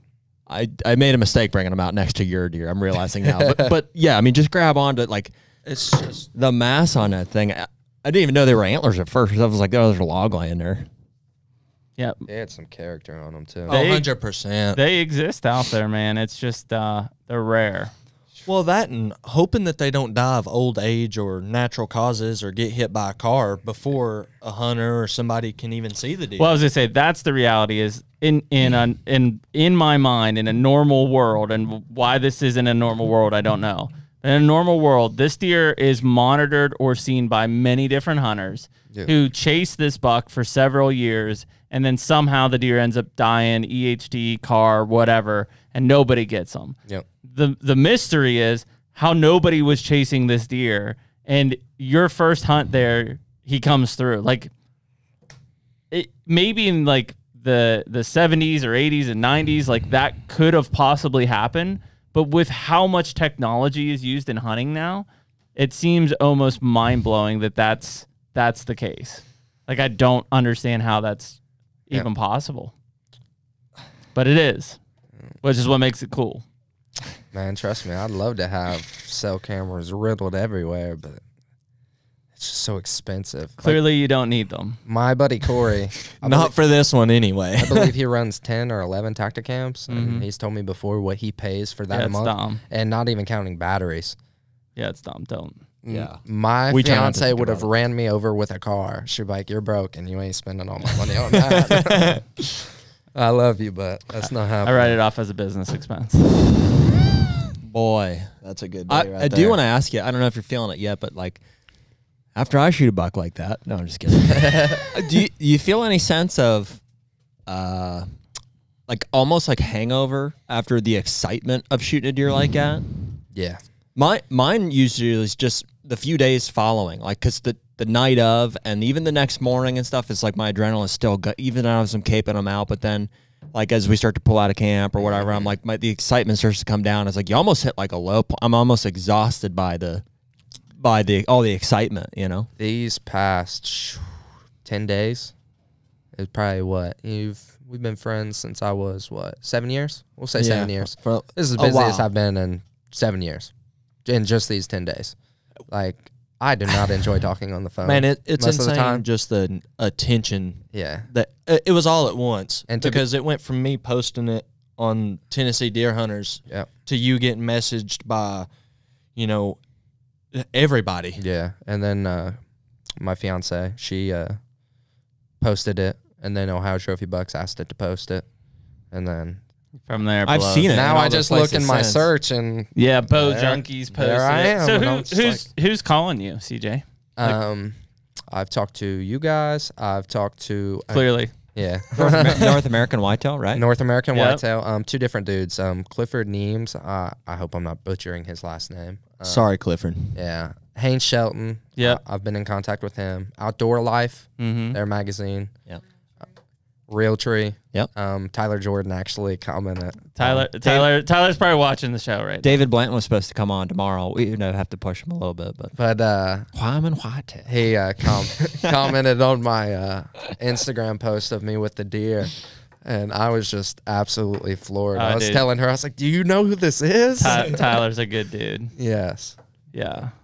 it's literally just antler collectors, um, magazines.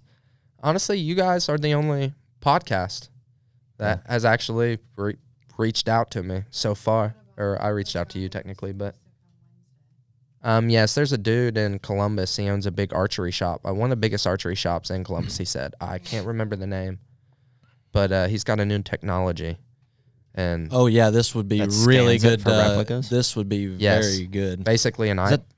that- That's the dude that came out and did all Ben's replicas, like for insurance purposes. I'm thinking possibly yes. Probably. oh, okay. scan it. Put you it know in what's a really cool is they make like mini replicas, which I think is really no cool. way. yes, we If it's the s- same you could have a little bobblehead on your Yeah. dashboard. we I'm getting a one that- Megatron bobblehead. I want one too. You better send us one. well, I asked him, or she asked him how much it was, and he said typically it's a hundred dollars an animal, and he said, but um, something about it's dropping in two or three weeks, and they want to use this as like a showcase, basically. Yeah, yeah. So they'll do it for free. yeah. But he showed us a whiskey bottle cork. It had his 300 inch elk on top of the whiskey bottle Oh, cork. because they were able to etch it in and, stuff. perfect, like That's very cool. exactly like the animal. That is Yeah. so awesome. And then if anything happens, God forbid, You have a replica Yeah, base. yeah. Everybody's gonna be rocking the Alexander buck here for Christmas. Yeah. It's got a nice ring to it. Oh yeah, The there you Alexander go. buck. That's freaking awesome. Oh, that's awesome. That Yeah. is- that's sweet. yeah. On the old decanter, huh? That's crazy, Buddy. man. That's um, it's as big as we thought it was. I want one. I want one of these. Well, I hope for both of you, you guys get a chance to. They don't make them like that, brother. I just uh, I don't. Again, I think there's some divine intervention on that A one. hundred percent. I agree with that. They just uh, they do not walk the face of the earth like that very often. Like they I just told 'em. killed. Would they kill? Uh, would Mick send us in Kansas? 260. I mean, you get a deer to come. You get a hundred and forty inch buck to come in seven yards of you. You're. I mean, Yeah, I, mean- know for a fact my heart's dropping, but that's me. But if I were to see this, I would honestly probably have a heart attack. I This probably, the- I probably wouldn't make it back. That's the 260 they just killed That in is Kansas. insane. Wow. Crazy. Honestly, when people see it for the first time and I see their excitement and stuff, it literally is just like an epiphany going back to when I seen him for the first time. I can't imagine, dude. That's that's the moment I'm trying to palms sweating. visualize turning around and seeing this thing or hearing him grunt like the vocalizations and then seeing that deer come in. I just I wouldn't even know what I'm looking at. cried like a baby. That's hard Oh, to I say. guarantee. Like I want to think I would just kill it like any other deer. Like I obviously would be aware. Honestly, if you want me to be honest with you, I bet you would. Yeah. I bet you would. Because I shut it off. I try. I don't really. Don't Shut the really pay antlers attention. Off. I've- yeah, go on to kill mode. But how do killed you a few turn that decent- off? I mean, I've killed a few decent, deer, respectable deer, especially for that area, but no giants by any means. But I knew when he was walking. Obviously, when I shot him, I d- wasn't so sure that I, I wasn't confident yeah, in what that's I a was sick- thinking. That's but, a sick feeling. but I was like, he's dead, hundred percent. This deer, he's dead. And then I seen the shot, and I was just like, I'm Mm. never gonna see that deer again, and no one's gonna believe me. Just like that alone, Well, even that, man. I mean, like, you talk about all the stars aligning, like, clearly not the greatest shot, and, like, that deer is dead. worst shot I've ever made on a deer. I You probably normally every deer I've shot with a bow, I have either watched fall or heard fall. do you think would you would you have done anything differently with a vertical bow in terms of like letting them get past you or I probably because you shot him what standing still at yeah. quartering to you at seven yards? Yep. And what was he doing? Did he? He probably picked your wind up at that point. Uh, my wind was actually blowing the complete opposite way of where he was. Yeah, was but at seven yards, I yeah, mean, it was blowing. So if I'm in the tree, obviously like this is a stand, it's blowing this way, and he's coming from this way. Yeah. So uh, he had his head down, Yeah. looking at the doe. Yeah. So just kind of checking out what she was doing. and you're just couldn't wait anymore. You're like, no, yeah, no, I gotta shoot him. A, seven yards. That's a clear opening. I was pretty confident that it would blast through both shoulders at that close. Sure. And if not with that angle, I was thinking maybe even heart. Yep. And then he's I've shot him at yeah, there. quartering to me at five, seven yards. yeah, with, same thing. with a vertical bow. Probably do the same thing. Just draw and shoot him right in the shoulder. Yeah, but I Mhm. Honestly, depending on the poundage and stuff, I used to shoot seventy pounds, and I'm about a twenty-eight and a half inch draw. Depends Mhm. on the brand, but uh, I probably would have aimed a little further back just to stay away from that shoulder, which I typically like to shoot an arrow that's got a decent FOC, Mm-hmm. but the shoulder just worries me. Because first Sure. deer I ever shot with a bow, they messed up the bow when we ordered it. This it was right here. 25 inches. This is a shed off of deer. Jer- Jeremy shot it this year. Yes. in the shoulder. I hit that deer in the shoulder, and the arrow literally went in that far. Should've did on and that she ran I've had the same 400 yards, happen. and I'm just waiting for her to fall. And my cousin Brandon's like, "No, man."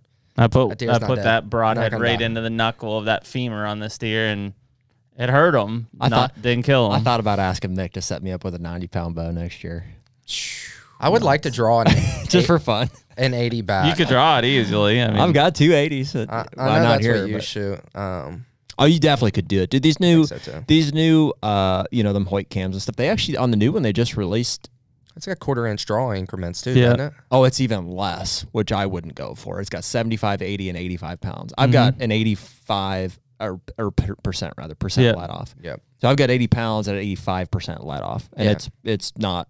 I mean, no, it's humping over. The only thing I would worry about is say you get into late season in Ohio, say a bad storm hits, you're all Mm-hmm. bulked up and stuff. Depending on what you're hunting out of, if you're in a tree stand, Yeah. getting cold, stuff getting tight. But Well, the, the two things that I worry me about high poundage are um, you can't hold it as long. Yep. And ultimately target panic. Yep. You know, if, if it's getting away from you, yeah, it's it just creates a situation where you're Mhm. not comfortable shooting the bow. hundred percent. So that's how I got target panic to begin with. I shot a bow that was too heavy. A- And somehow I adapted to it. I mean, I changed the release, changed, Mhm. retrained myself and stuff. But it was, I was shooting too much poundage. yeah, Well, this deer, I didn't. My arrows weren't built like we build our arrows now. When I shot Yeah, this yeah, deer, I was sure. light, light and fast. That I eight, hear that thing sizzling. that eight Mhm. point I shot in Illinois on the same night you shot this one, dude. Within an hour, I've shot that buck probably. That's this one. crazy. and uh, I shot him right in the shoulder. And honestly, I think that's sever. They're built to pivot. Mm-hmm. Some guys, you know, think that's a, a potential flaw. Like, smaller wound channel, but it it pops, it pivots, and then it pops right back when it has Right. a chance to move. so they, they're built to they go like this. But Basically ideally, swerving around. uh huh. And so I hit that thing. It literally, I mean, it was touching the the femur. You know, so the shoulder blade is connected Yep. basically to the Mhm. femur. So I I and he was broadside to me. I just that's where I hold. That's where I shoot him. Yep. But Right. again, I'm little shooting 80 pounds with a I mean, do you 500 grain. do you think that you hit the femoral or just got shot? Uh, no, I definitely think I hit the femoral artery or And so he just slow bled out. yeah, because where he did die, even after the six or seven days, there was still, I mean, a pretty good puddle of blood right there. Show there. them that picture of that arrow i- if you haven't already, Yeah, no, I haven't. Hmm. because the blood resembles like if you were to hit a double lung. One- something. Once Yeah, it- because it's. I mean, the artery I- would be oxygenated. That's definitely what when because that's what I told him. Whenever he showed me the arrow, I was like, "Dude, that deer's dead." I was like, Mhm. "I don't know where, but he's dead. No Yeah. matter how bad of a you shot hit you made." oxygenated blood, so you're in good shape. Yeah. And then here's this. I mean, it did the trick, I guess. Yeah. But it's, Looks like a old G5 Montec. yeah, that's what it reminds me of, for sure. Well, we appreciate you guys coming down and being in person with us on this Oh, thing. it's absolutely our pleasure. Our, our pleasure, for sure. I appreciate it, guys. It's Uh, cool to me that you guys think it's cool to be here. Oh, I'm fanboy. oh, me too. me too. we were in Kansas and we're, we're like, we're like, we should get him to come into the podcast. Mhm. That'd be really cool. mm-hmm. Not that far. um, It really wasn't a bad drive. No, not at really, all. hon- Honestly, it Well, was you got to pretty drive through. back. Yeah. Yeah. that's what sucks. Yeah. You TB, crash on the couches out there if you want. Yeah. Hey, don't tempt us. I know you got some meal prep in that fridge. I seen the instant rice. Oh, yeah. Oh man, yeah, we we appreciate you coming in and what a what a just unreal deer. I mean, this is you know, it's what people dream of. People always say, "Oh, you know, I don't care about a buck." Please, dude, you sit there and daydream about big bucks coming over the hill every time. I hate Who being doesn't cold. Yeah. And I tell you what, all the times I've been freezing cold and came back and said I'm never hunting again. I'm glad I never stuck to that. Did you Yeah. did you uh did you get the shakes after that that bolt was sent? Oh yeah, Yeah. I thought I was gonna throw up, Yeah. especially not having anyone to tell. Well, yeah, because you had no phone, no nothing. Yeah, You just had to keep it. yeah, literally just sitting there, hitting the tree Oh, with the back of my head, like it's done. Like that deer, especially him not sprinting like that, which the tail tuck and the hunch over, kind of gave me a little glimmer of hope, but still, Can't imagine though the the sight of him on the ground though, what that was like. I, I just can't Oh, believe would've how loved to have pathetic all these horns look. I keep bringing them out, and I'm like, oh, that's that's a good one. You know, I'm like, it's just like a, p- it's they're nothing. Uh, oh, No, I mean it's like That's yeah, impressive. dude. Even the mass That's on this deer. it's I like mean, cool. I'm gonna go kill a see that. booner now. yeah.